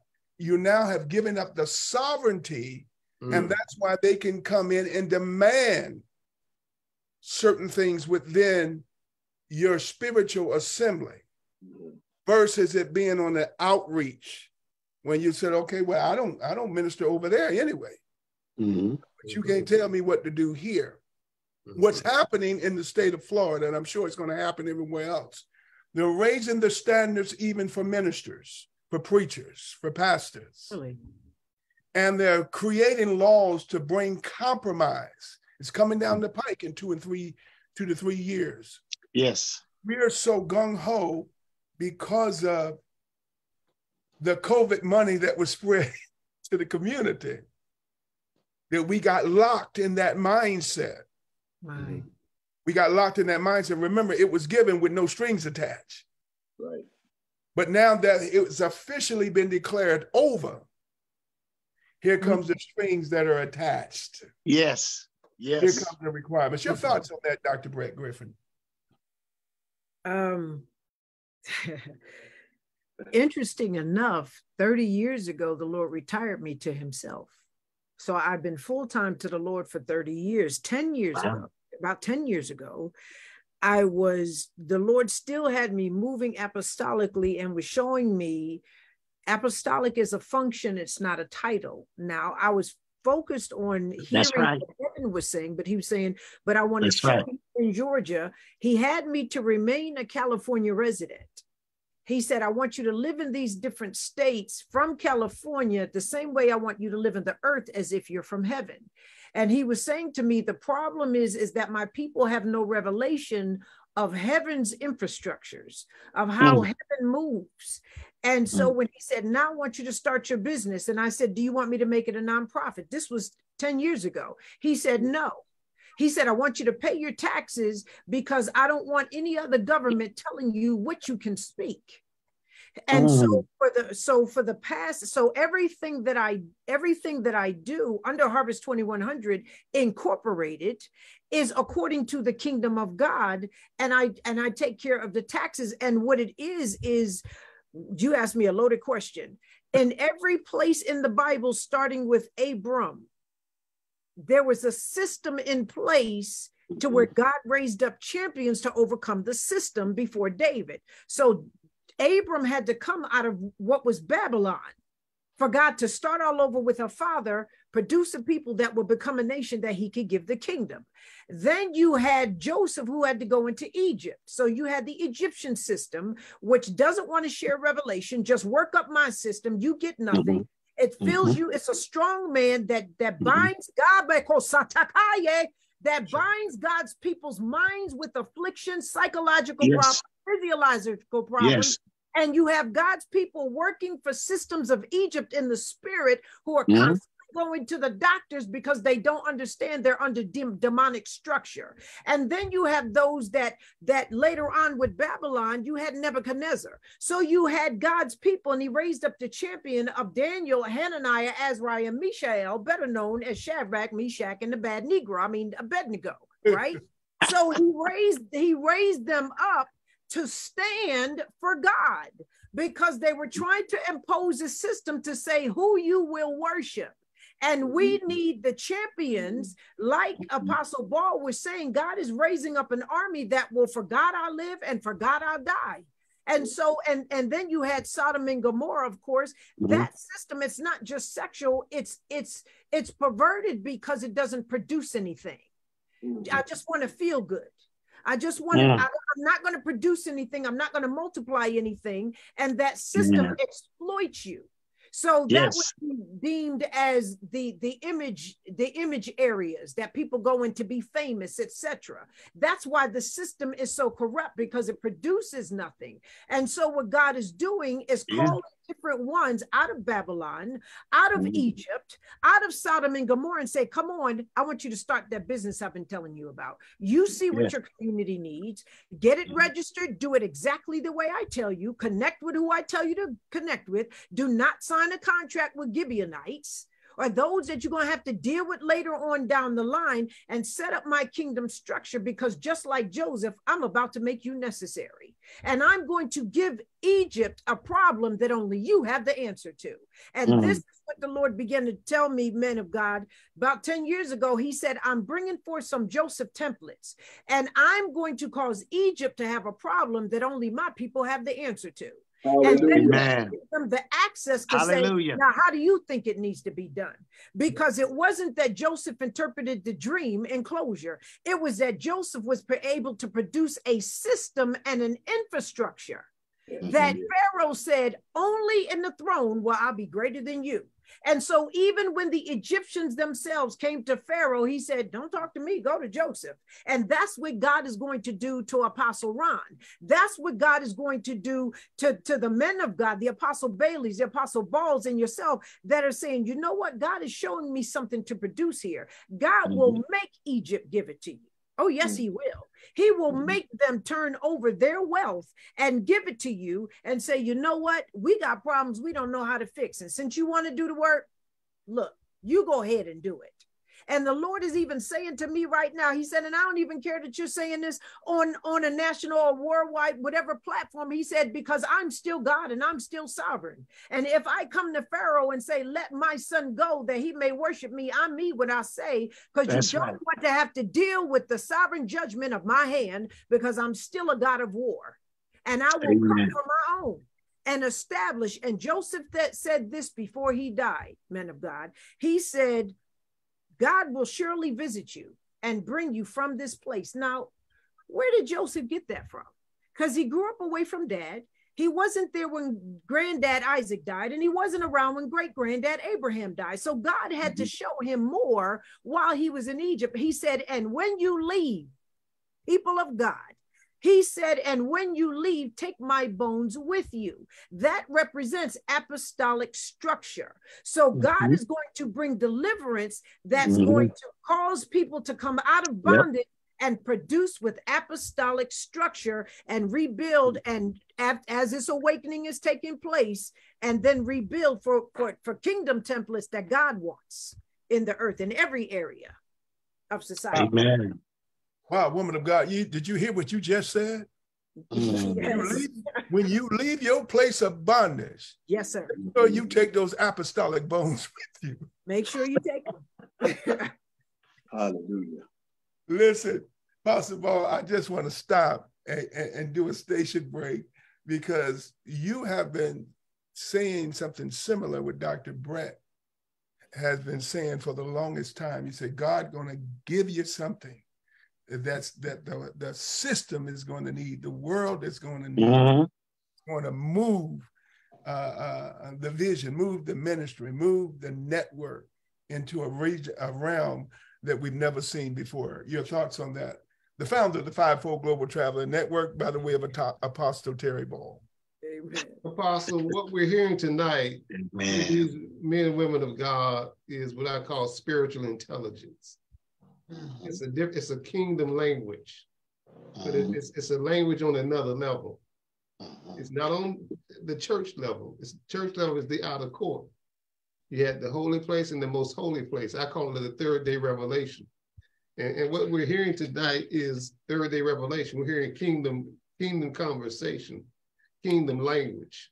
Yes. Know? And and some people this I know you need to listen to this two or three or four times I, I encourage if you're a pastor, if you're a bishop, if you're apostle not on the line, uh, pass this on to them and let them hear this, this revelation, hear this, hear, this conversation, this communication, yes. this revelation of what is being spoken. Amen. Glory to God, because that's what we're hearing tonight, Apostle. We're, we're experiencing kingdom revelation, kingdom language, and, and it's the one of the books I'm working on now is called Spiritual Intelligence, because God wants us to understand the language of the kingdom. You know, and, and Dr. Brett said something that I believe so wholeheartedly. And my life is getting ready to change drastically in a, in a major financial way very soon. And she said something that God showed me 30 years ago. Mm-hmm. And, and she said she didn't go the, the route of nonprofit, she went the route of for profit. And, and she she embraced you know, walking by the Abraham way, you know, the, the, the name changed it, receiving the, the H in your conversation. Yeah, I want to get into that. But his name Abraham, his name was Abraham, but yeah, God gave him the H. H out of Jehovah. Yes, sir. Abram to Abraham. And what God is saying to many of us today by the Holy Ghost, I hear speak, I'm speaking as a prophet tonight the minute that God said, I'm ready to change your conversation, I'm ready to change your name. Yes. I'm ready to take your ministry to another dimension yes. of conversation. Eh, because there's there's the whole apostle, I believe really, I, I, I, I want to say this, that the body of Christ is, is moving to the kingdom address of business opportunities right now. Mm-hmm. I believe that that's I believe that's the new direction that we're going because when she spoke about Joseph, Joseph moved into a, a, a, position of business mm-hmm. uh, and, running the business of the kingdom of, of, a, of a foreign kingdom, but God gave him the, the position of, of kingdom management. And the way our economy is going, we need to shift our ministries to kingdom ministries of ministry and business entrepreneurship I call them apostolic centers, uh, apostolic centers, where we begin to not just minister spiritually to the people, but we need to understand the other side of the kingdom is the business part. And many of you that are listening out there, out there to, across social media today, God wants to shift your ministry into the Joseph anointing, mm. into the Nehemiah anointing. These are types and shadows. Uh, yes. Uh, I'm telling you, if you hear what we're saying by the Spirit of the Lord, these speakers are speaking to that by the Spirit of God. Hear the new language of the kingdom. Many of you guys calling to be Nehemiahs, to be Daniels, to be mm-hmm. Joseph type ministries, not just pulpit ministry. That's why I always say, Apostle, God has changed the address of the church. You know, and, and, I'm, and I'm telling you that we have to begin to understand, interpret what does this new address look like? What does new ministry blueprint interpret? What does it look like? And so as leaders, as pastors, as bishops, as apostles of ministries, we really need to go back into consecration. I was teaching some years ago a, a new wineskin for a new season. And the last thing I'll say, Apostle, is that see that we're, we're in a new season, but we're not really interpreting the season that we're in because we're in an old paradigm. Yes. Our minds. Mm-hmm. And, and Apostle Bailey, we need to go back into fasting and prayer. And not yes. just fasting and prayer, but we need, I need Apostle Griffin, I need Apostle Ron and Bailey in my life. Mm-hmm. Many of you that's out there listening, uh, you're not interpreting the language of this season because you don't have Peter, James, and Johns in your life. You just you can't fly solo ministry right now. Yes. It's right. no more so it's corporate now. It's corporate now. Yes, it is. Yes. And I'm good at what I do because I have Apostle Douglas. Yes, I'm sir. good at what I do because I have Apostle Ron. I'm good at what I do because I have Apostle uh, Griffin in my life. Other see that other people is going to make your ministry a corporate success in this in this season of ministry. Now I'm going to stop right. I can go on and on, but I just want to say, listen, Mm. The language has changed. The conversation has changed. God wants to shift our ministries to, to, to become Joseph type ministries where we become kingdom minded ministries with business yes. and spiritual territorial uh, aspects of ministry. Back to you, Apostle. Apostle Ball, you've said something significant. And by the way, I want to come to Apostle Ron when you was talking about CNN and you told us to stay away from CNN. the Lord dropped something in my spirit, and I think I wanted to share it with you when you said it. But uh, people, please stay away from CNN because CNN, when the question of change come up, when you say change, CNN say not now. They'll move you away from the truth and give you more headaches by tell you, telling you yeah. problems that are in the world. But here's what I want to say with uh, what Apostle Ball said, and and Dr. Uh, Brett Griffin, uh, we're going to have to shift in the, into that modality because you mm-hmm. can't drive the car from the back seat and you can't mm. fly the plane from a passenger seat. So you have to mm. put yourself in the realm where God is driving you and moving you and connect with others that that what he placed in your spirit will be stronger and more impactful when we try to operate in silos and in isolation and mm-hmm. and covering, you know how we do sometimes. You know, if if if, if there's something going on that could benefit an organization, uh, because leaders are not there, they don't want any of their flock to attend. Mm. You understand? Yes. And we have to break that yeah, barrier yeah. down. Your thoughts yeah. Pastor Kevin Bailey. Oh boy listen, here, listen, we have to move from a place of, listen, there's something that David did in the book of Chronicles, chapter uh, 21 and verse 1. The Bible said that Satan filled David's heart in verse 1. And David began to number or count the people. Mm-hmm. And the reality is that some, because uh, David was a warrior, uh, but listen, it kept them from moving into that apostolic dimension and going to war. He counted the people, but he trusted in the military and the people that he had instead of not in God. And this is where we are right now. We just count the people wow. and said, oh, yeah, it's power in numbers. It's yeah, it's victory in numbers. It's you know, yeah. we, we got to get as many people in as possible. And uh, uh, uh, Dr. Brett said something that's key. Okay. We are, in this season, we have to move from counting members and we have to move to making members count. And the discipling piece is where we moved away from. We have to disciple, we have to train, and we can't be afraid or of when we duplicate ourselves that who can take our position because really a title is a title, but the apostolic, the prophetic, that dimension is a function. It's a function. It's not just connected with a title. Yes, you identify by that title, but we have to move from counting membership. We have to start making them count. We have to disciple. We have to train. We have to equip. All right. And why does it matter if if someone's doing prison ministry? Listen, the U.S. is the number one country in incarceration. No, number two in incarceration. China is number one. So, so why would you do this ministry? Mm. And why won't the fathers? But the real problem is that we, the other problem is practically we have fatherless homes. It is 80% right now. And when you talk about the apostolic, you come to a father. Yes. The one that embraced the apostolic, you know what he does or she? They put you in the area because it's a family mm-hmm. that you can grow in and become what God wants you to become. Yes. You know how your kids want to play sports? You like to do this, you put them in that area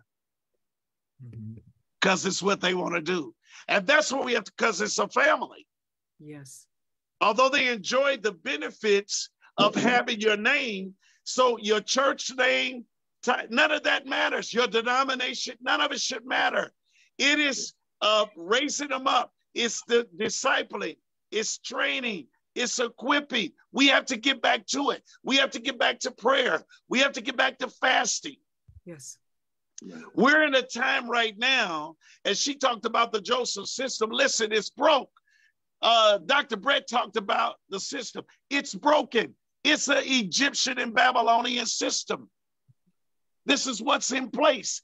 If if David wrote in Psalm 37 19 that even in the time of famine, we will be satisfied, then Ooh. Hmm. there must be a kingdom system in place.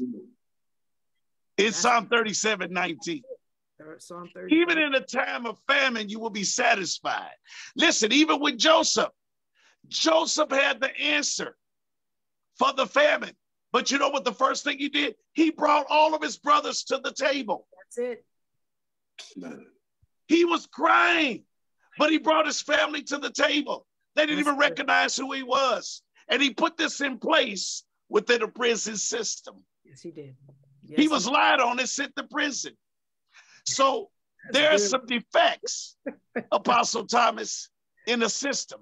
So and listen, this is what happens when we don't grow them up. We have to move from spiritual daycares. Are y'all listening to me? Yes. We've got to move from spiritual daycares. And we've got to train up children. We got to take them off the move. The milk. Listen, some have baby teeth still in their mouth and they've drank the milk too long, so they're rotten. It's time to mature. Some should be teaching and leading others. Hallelujah. Yes. If we look at Hebrews 5 12 through 14, and the biggest problem is we're, we're not even ready to explain. I love what you shared, Pastor Ron, and Apostle Tom. He was talking about, well, hey, you know what I stand for? Most would compromise. There is a spirit of compromise within the body of Christ. And some of us are like this bound. We're bound, but yet we say we're in Christ by what we call the world system mm-hmm. and being controlled by it. We're bound by Babylon.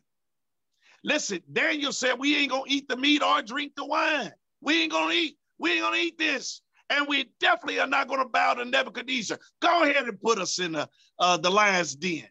We'll close the mouth of the devil. Put us on in his fire. There was a, there was one that came in there. they said that the, the king looked and said, I believe it's the Son of God. He'll rescue us from the fire. Listen, we're in a time of purification. We're in a time of refining. And listen, I got bad news for some of you, but good news for the kingdom people. Because the word of God is not just a word, but it's of what? Power. In First Corinthians 4 and 20. I got good news for you. I got bad news for some. It'll church won't be as it was. It's time to father them. It's time to raise them up. It's time to duplicate ourselves. It's time to raise teams. We got to get off of the milk. It's rotten in their teeth. They're immature. Hallelujah. Yes, We have to get off the milk. It the, the meat belongs to the children. the, the the meat belongs to the mature. Yes. Amen. You have to have uh, your uh, your adult teeth. in. You got to have that you know stick the right teeth in to chew that meat. We have it's time to chew the meat. Yeah, Yeah. it's time to chew the. We, we're not going to cut it down and water it down. Uh, we, we this watered down gospel. We don't preach about sin. We compromise. We have to stop it. Ah, We must always be ready to explain. The Bible says, and I'm going to read this from scripture. In First Peter 3 and 15, it says, But sanctify the Lord God in your hearts. Set apart, set apart the Lord God in your hearts. Set him apart in your hearts.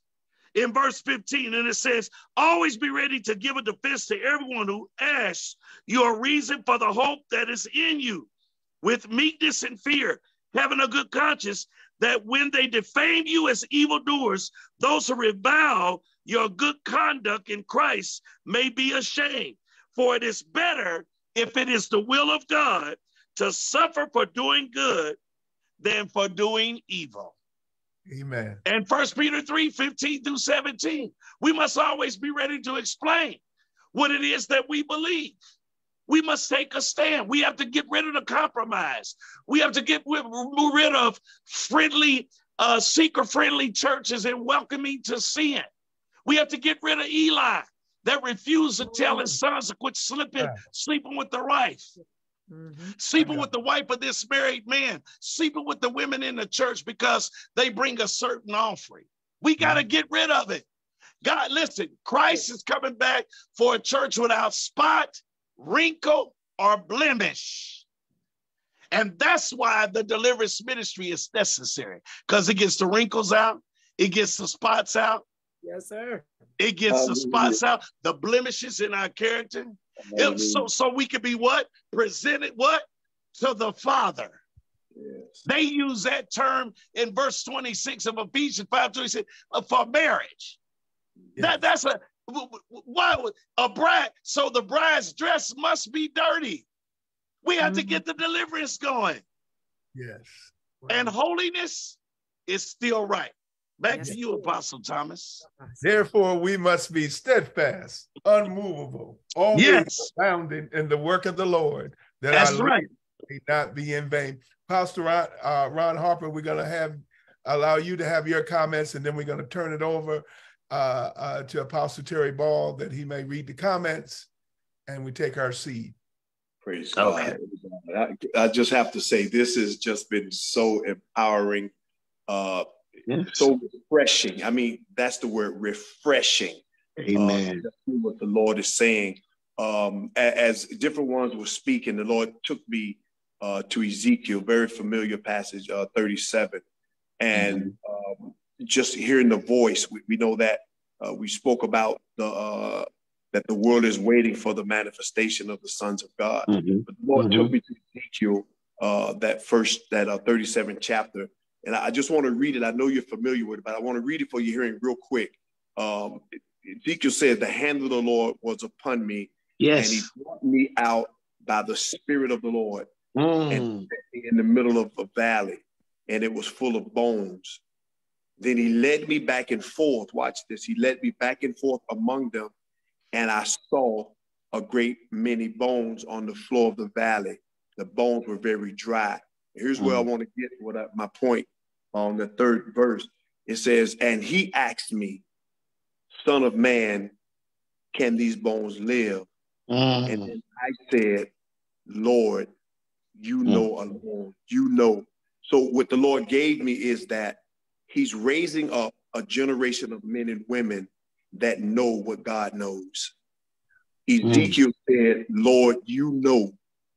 Mm. Okay, he said, Lord, you know, watch what he did. He took him and he took him back and forth so he can see with his natural eye and tested him to see if you're going to see what I see.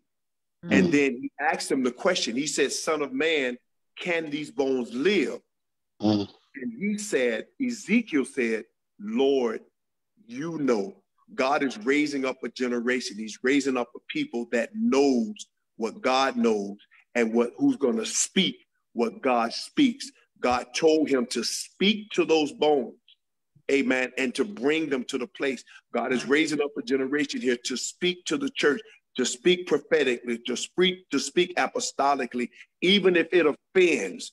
And it doesn't matter how long they've been in their in their state, in the state of the church now. It doesn't matter how long. That's right. God is saying that when he, those that he has preserved, those that he have brought forth, he have brought forth that reserve, amen, that has been brought to the front now. He says, when now, when you begin, oh, he said, when you begin to speak, amen, things are going to happen.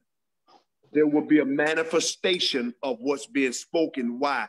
Because I know what God knows, and I'm speaking what God is speaking. This is what the Lord is saying to us, amen, in this season. Begin to speak, and the results, you will see the results. Because in that in that uh, uh latter in the verse, it says, and I prophesied Mhm. to the bones, and Yeah. there was a reaction. I prophesied, and there was a reaction. Mhm. We're coming into the season now that prophecies will not fall to the ground. God is bringing them forth. Why? Amen. And we're speaking what God knows. Amen. Back Wow. into your hands. Wow. Wow. Amen. This has been a powerful night. This has been amen, a night of information, dissemination, a night of prophetic utterance, strategizing. God has given vision for the future. Amen. I'm sure that many of you out there have been blessed, glory be to God, by the words coming from these powerful men and women of God. Amen. Glory be to God. And as usual, whenever I hear prophetic utterance or a blessing from the Lord, like Dr. Brett Griffin, that you've given us, the foundation that you've given us, Apostle Kevin Bailey, and always, amen, like to hear my friend and brother, Pastor Ron Harper, glory be to God. I always like to put a seed in the ground because I realize, amen, that the, whenever I put a seed on that word, it brings a harvest. Maybe I will never be able to meet that person in my lifetime, but the word of God is fruit. Amen. It continues to grow. We pray that it fell on good ground. If you desire to be a blessing to the Fivefold Global Traveling Network tonight, amen, you can sow your seed at fivefold, the word dollar sign, the word fivefold, F I V F O L D 2021. Glory be to God. And I believe there's a way that you can Zelle also. I think uh, Evangelist uh, Ball will type that, amen, in the chat line. Glory be to God. But I will be the first one to put the seed in the ground because I've gotten some nuggets tonight. Amen. I got the full course meal, really. Amen. I started off with the appetizer, started off with the appetizer before we got on the air with Apostle Kevin Bailey and the Brett. Is restoring But they laid that beat down here tonight. apostolic and his Before we got on the air, with And I bless God for what I've uh, male and female expression of his apostolic and his before we got on the air, with Apostle Terry got to turn his phone down. Praise God. Sorry about that. All right. Well, we're still coming back. If you desire to sow a seed, you can sow at a dollar sign, the word fivefold, F I V E F O L D 2021. And Apostle uh, Evangelist Ball will be putting the Zelle information up on the screen. Amen. God has Amen. really blessed Amen. us tonight, really blessed us tremendously. He blessed us so much. We have so many comments. Glory be to God. As you guys forward. Amen. People were witnessing to the word of God. Again, that is dollar sign, the word fivefold, F I V E F O L D 2021. We turn it over to the founder of the Fivefold Global Traveler Network, Apostle Terry Ball. Apostle, man, listen, there's got to be a part two to this. there's got to be a part two. That's the first thing I want to say. We got to have our, all our guests back in a couple of weeks. We got to work something out and uh, get them back on with us because this has been a true roundtable. That's one thing. And the second thing I want to say that as many of you that are sowing your seeds tonight, and uh, as I always say about our sowing into the roundtable, because we love to be a blessing to others. We want to be a blessing to Apostle Brett Griffin's ministry tonight. Amen. As the seeds come in tonight, we're going to sow back into Apostle Brett Griffin's ministry that she's doing in Palmdale, California. I want to interview her and talk with her about her work, what she's doing there in Palmdale, and and and, and her future plans for the rest of this year. We're going to be a blessing to her. And all of you, I want, want you all to be able, if you can, come back in a couple of weeks. We'll contact you personally and we'll conversate about that. But we need to continue this because there is something very strong apostolic. I felt such an apostolic acceleration tonight. Amen. Like I said, we we open, I really feel Apostle Doug that there's a conversation, there's a language that we're speaking tonight that people need to hear. Yes. You know, there, there was a pivot Amen. in the podcast tonight. There was a holy, I said, I call it the Holy Ghost pivot. There was a pivot in the podcast. Ron, you're a basketball player. You know about pivoting. and there was a pivot tonight in the podcast and uh, I'm telling you that I, I just feel that we're on to something. And I feel like that, that, that at this t- at this time that God wants to complete what He's began with us tonight by the Holy Spirit. So we want to be sensitive to the Holy Spirit tonight. Now, ask many of you that want to sow, any amount is a great amount. And if you know anything about our network since July of 1991, we, me my wife, many people that have followed us, we've sown everything back into the kingdom of Amen. God. Much of what we, about 90% of what we receive, we saw it right back in because we're believing for a mighty, wow. mighty multi-million dollar harvest. Yes. And then what God has called us to do across this nation and the Caribbean island that as because our assignment, Apostle Doug, is going to be to be a platform, build a national platform. Let me share our vision with you. Our, our vision is to build a national platform for Dr. Griffin to stand up for, for Pastor Ron Harper to stand upon, for the possibility to come and stand upon. We're graced to have favor with many people. We have relationships all over the place, but God, I, I like to say it like this because Dr. Grant is a, is a basketball player, Ron's a basketball player, and Brother Bay looks like he's a football man like me. but we all understand sports. And yes. I like to use this terminology in sports that God's first string team is not even on the field yet. Mm. Uh-oh. And there's there's a shift coming, Ron. There's yeah. a God's gonna say he's gonna blow the whistle and say, okay, I want the first string team on the field now. Hallelujah. And we're getting ready to see some some players come to the field that's gonna be on, so sir. anointed. Hallelujah. And so purpose filled and purpose driven and Christ driven.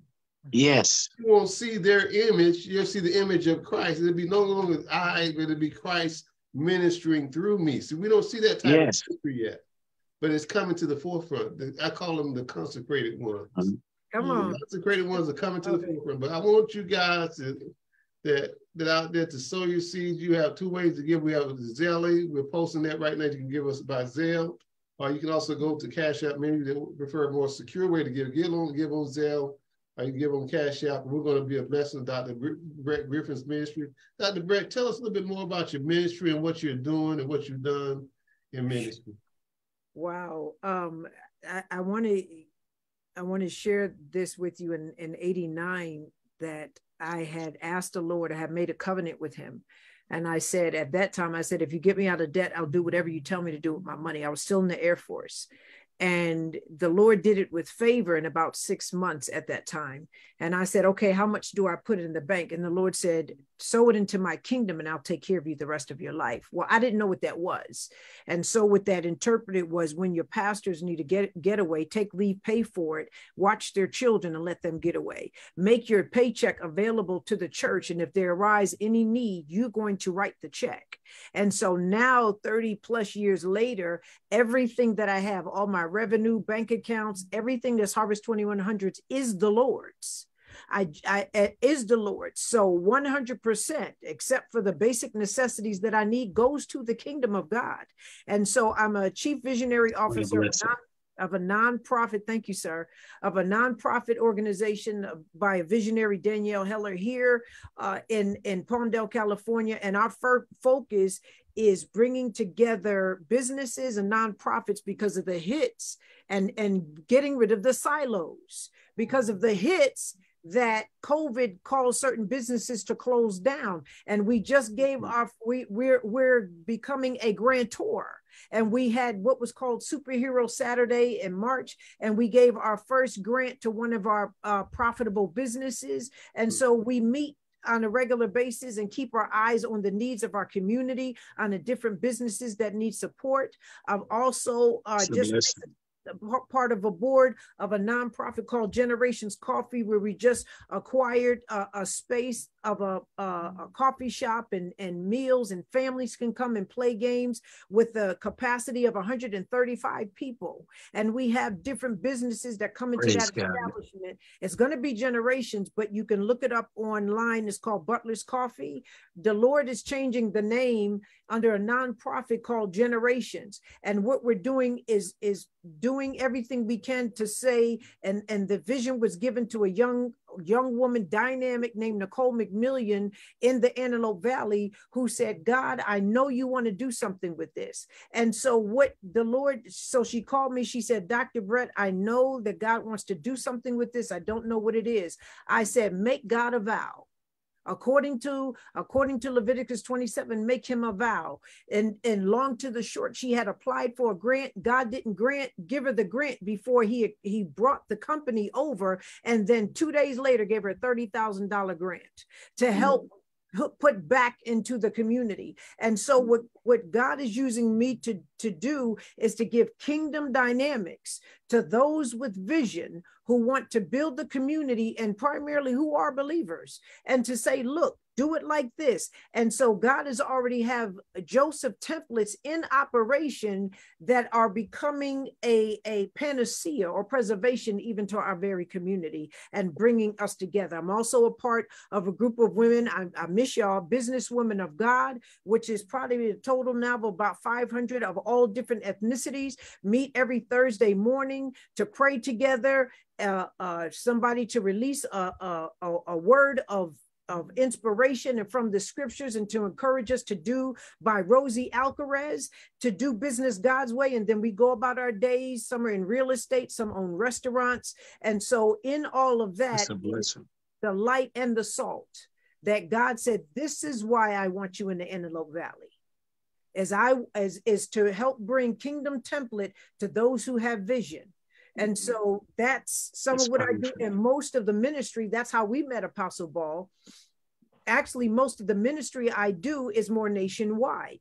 So I have disciples. I have 14 spiritual daughters in Ireland and Canada and across the United States, Texas, Louisiana, New Jersey, New York, all over the United States. And the spiritual son, Apostle Ron Smith, I think he's on, and he works with families in Phoenix, Arizona, and works with with uh, homeless uh, initiative, works with those seeking asylum, etc.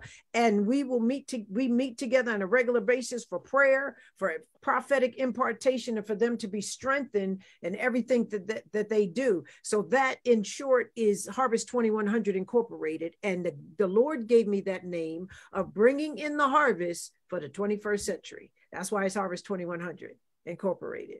Wow, so, that, that's, wow. That's awesome. That that is awesome. Yes, I mean, you you you're a very yeah woman of God, but it's a great vision that you're doing. You know, Apostle Griffin, a lot of people don't understand that. And, and, and as I was listening to your heart, it reminds me a lot of what we've done here you know, some people are tired to give 10%, but many of us that really get over into the ministry and the call, we give 30, 40, 50% of our Yes, we do. Yes, we, do. we do. give it all.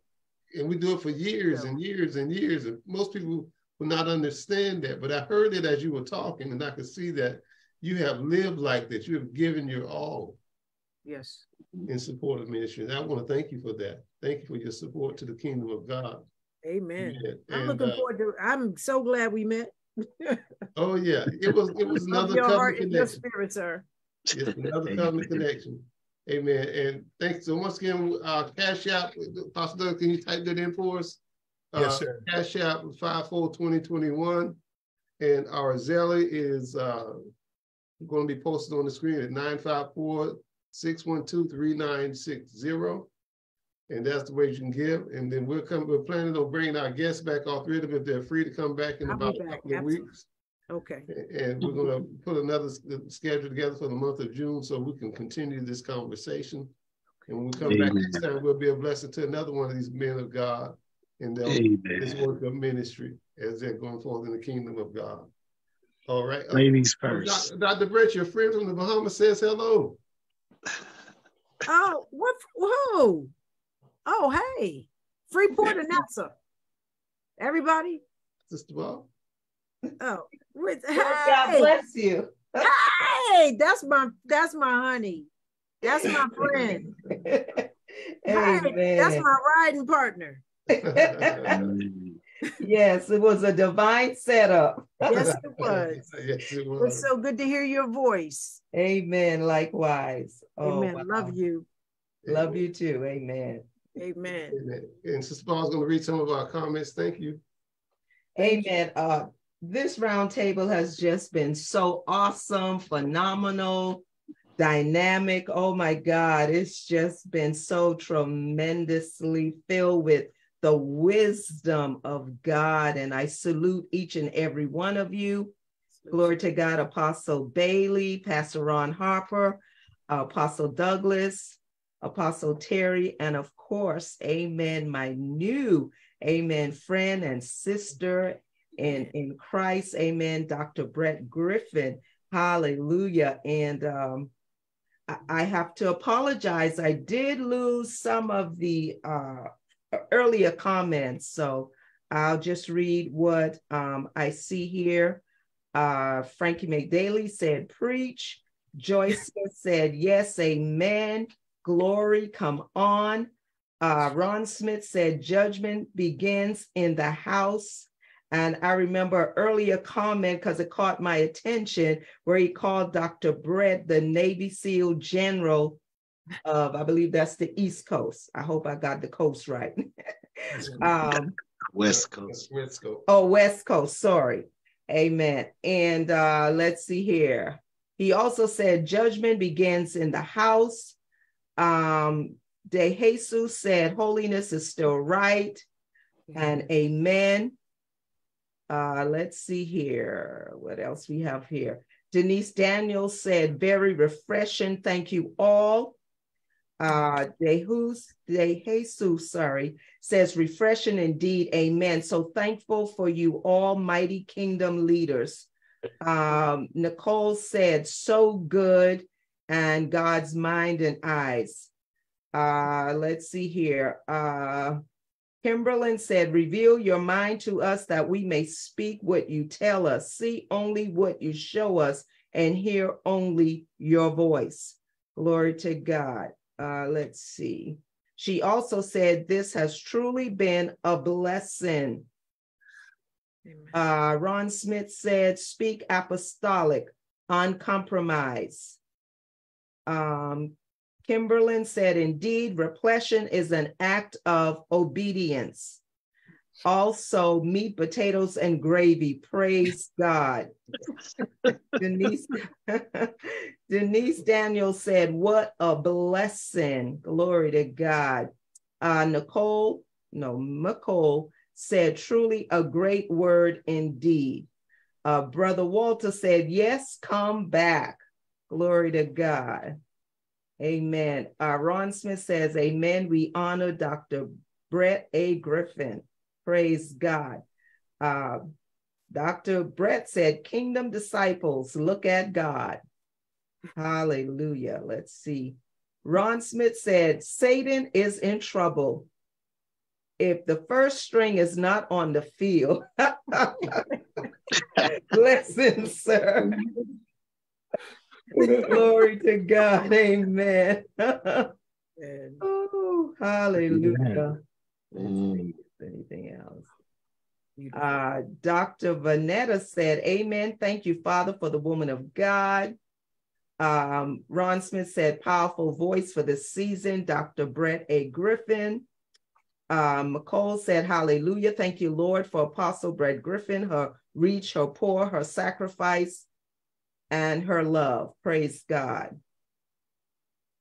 And Patricia Main said, Yes, we are blessed to have Apostle Brett in my life. Glory to God. Dr. Brett, you got Canada. She's she's in, she's a native Cree warrior from Canada. Amen. Amen. And and a leader in in among tribes, bringing restoration to families um, in that region. Her father was a chief, powerful woman, woman of God, powerful Amen. woman of God. Yes. Well, and thank you all for your comments. We lost a lot of comments tonight because, I mean, the time span was so was so long that we had a, a hundreds of comments tonight. We couldn't read them all. But we want to thank you all for your comments and thank you very much. Thank you all. Thank Apostle you. Douglas for being our moderator tonight. You did a great job as always. Yes. Thank, thank you, uh, Apostle Bailey, amen, from, from Indianapolis, Indiana, and also our good friend Apostle Ron from uh, South Florida did an outstanding job. And like Apostle Griff said when we came on, something concerning the men of God. Yes. And, and, some, there's, there's something happening with God's men in this season, that there's a repositioning with us. Amen. And I, I felt that I won't go into that tonight, but I just thank you for those comments that she brought out. And, and didn't really get too in depth with it, but I understood what she was saying about the men of God. Mm-hmm. Amen. In the body of Christ Mm-hmm. Amen. In the order, God, God is setting them back into their rightful place to work yes. hand in with the women of God together as a team, amen, of ministry. So thank you all for your time. Apostle Doug, do you have any more comments before we close out? I want to ask Pastor Ron to close us out tonight. I just have a question for Apostle Kevin Bailey. I heard you mention uh, uh, Apostle Ivory Hop, uh, Hopkins, and I said, well, wow, they're talking about Lower Delaware, and that's where I was born grew oh. up. So, so yeah, uh, that's my friend. That's your friend. Yes, that's your friend. Yeah, I know him real well. Yes. Yeah, we grew up in the same area. Uh, Lower okay. Southern than I was. I was in Milford. The general. He's an yeah. awesome man of God. Yeah, yeah that's my friend. Yeah. Yes, he is. Awesome. God bless you. Well, listen, this was awesome. Round two is coming up in a couple of weeks, and we just appreciate you. Thank you so much for all that you do. And we just uh, uh, welcome you back on the second round with Amen. this same fire. Amen. Once again, God bless everyone. A prayer with Pastor Ron. Can you pray, pray over the gifts and give us closing comments as we close out tonight, Pastor Ron Harper? Thank you. Ma'am, Kingdom Ministry. Uh, hallelujah. Thank you. Father, we bless you. We praise you. We thank you so much God, for just who you are, for your love, your kindness, and your mercy mm. towards us.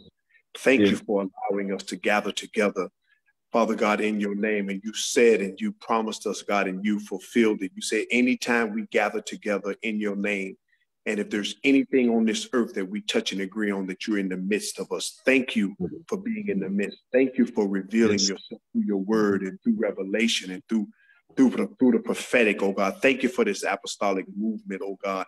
Thank you for not having a deaf ear, God, to what you're saying to your church and to the body of Christ in this season, Father.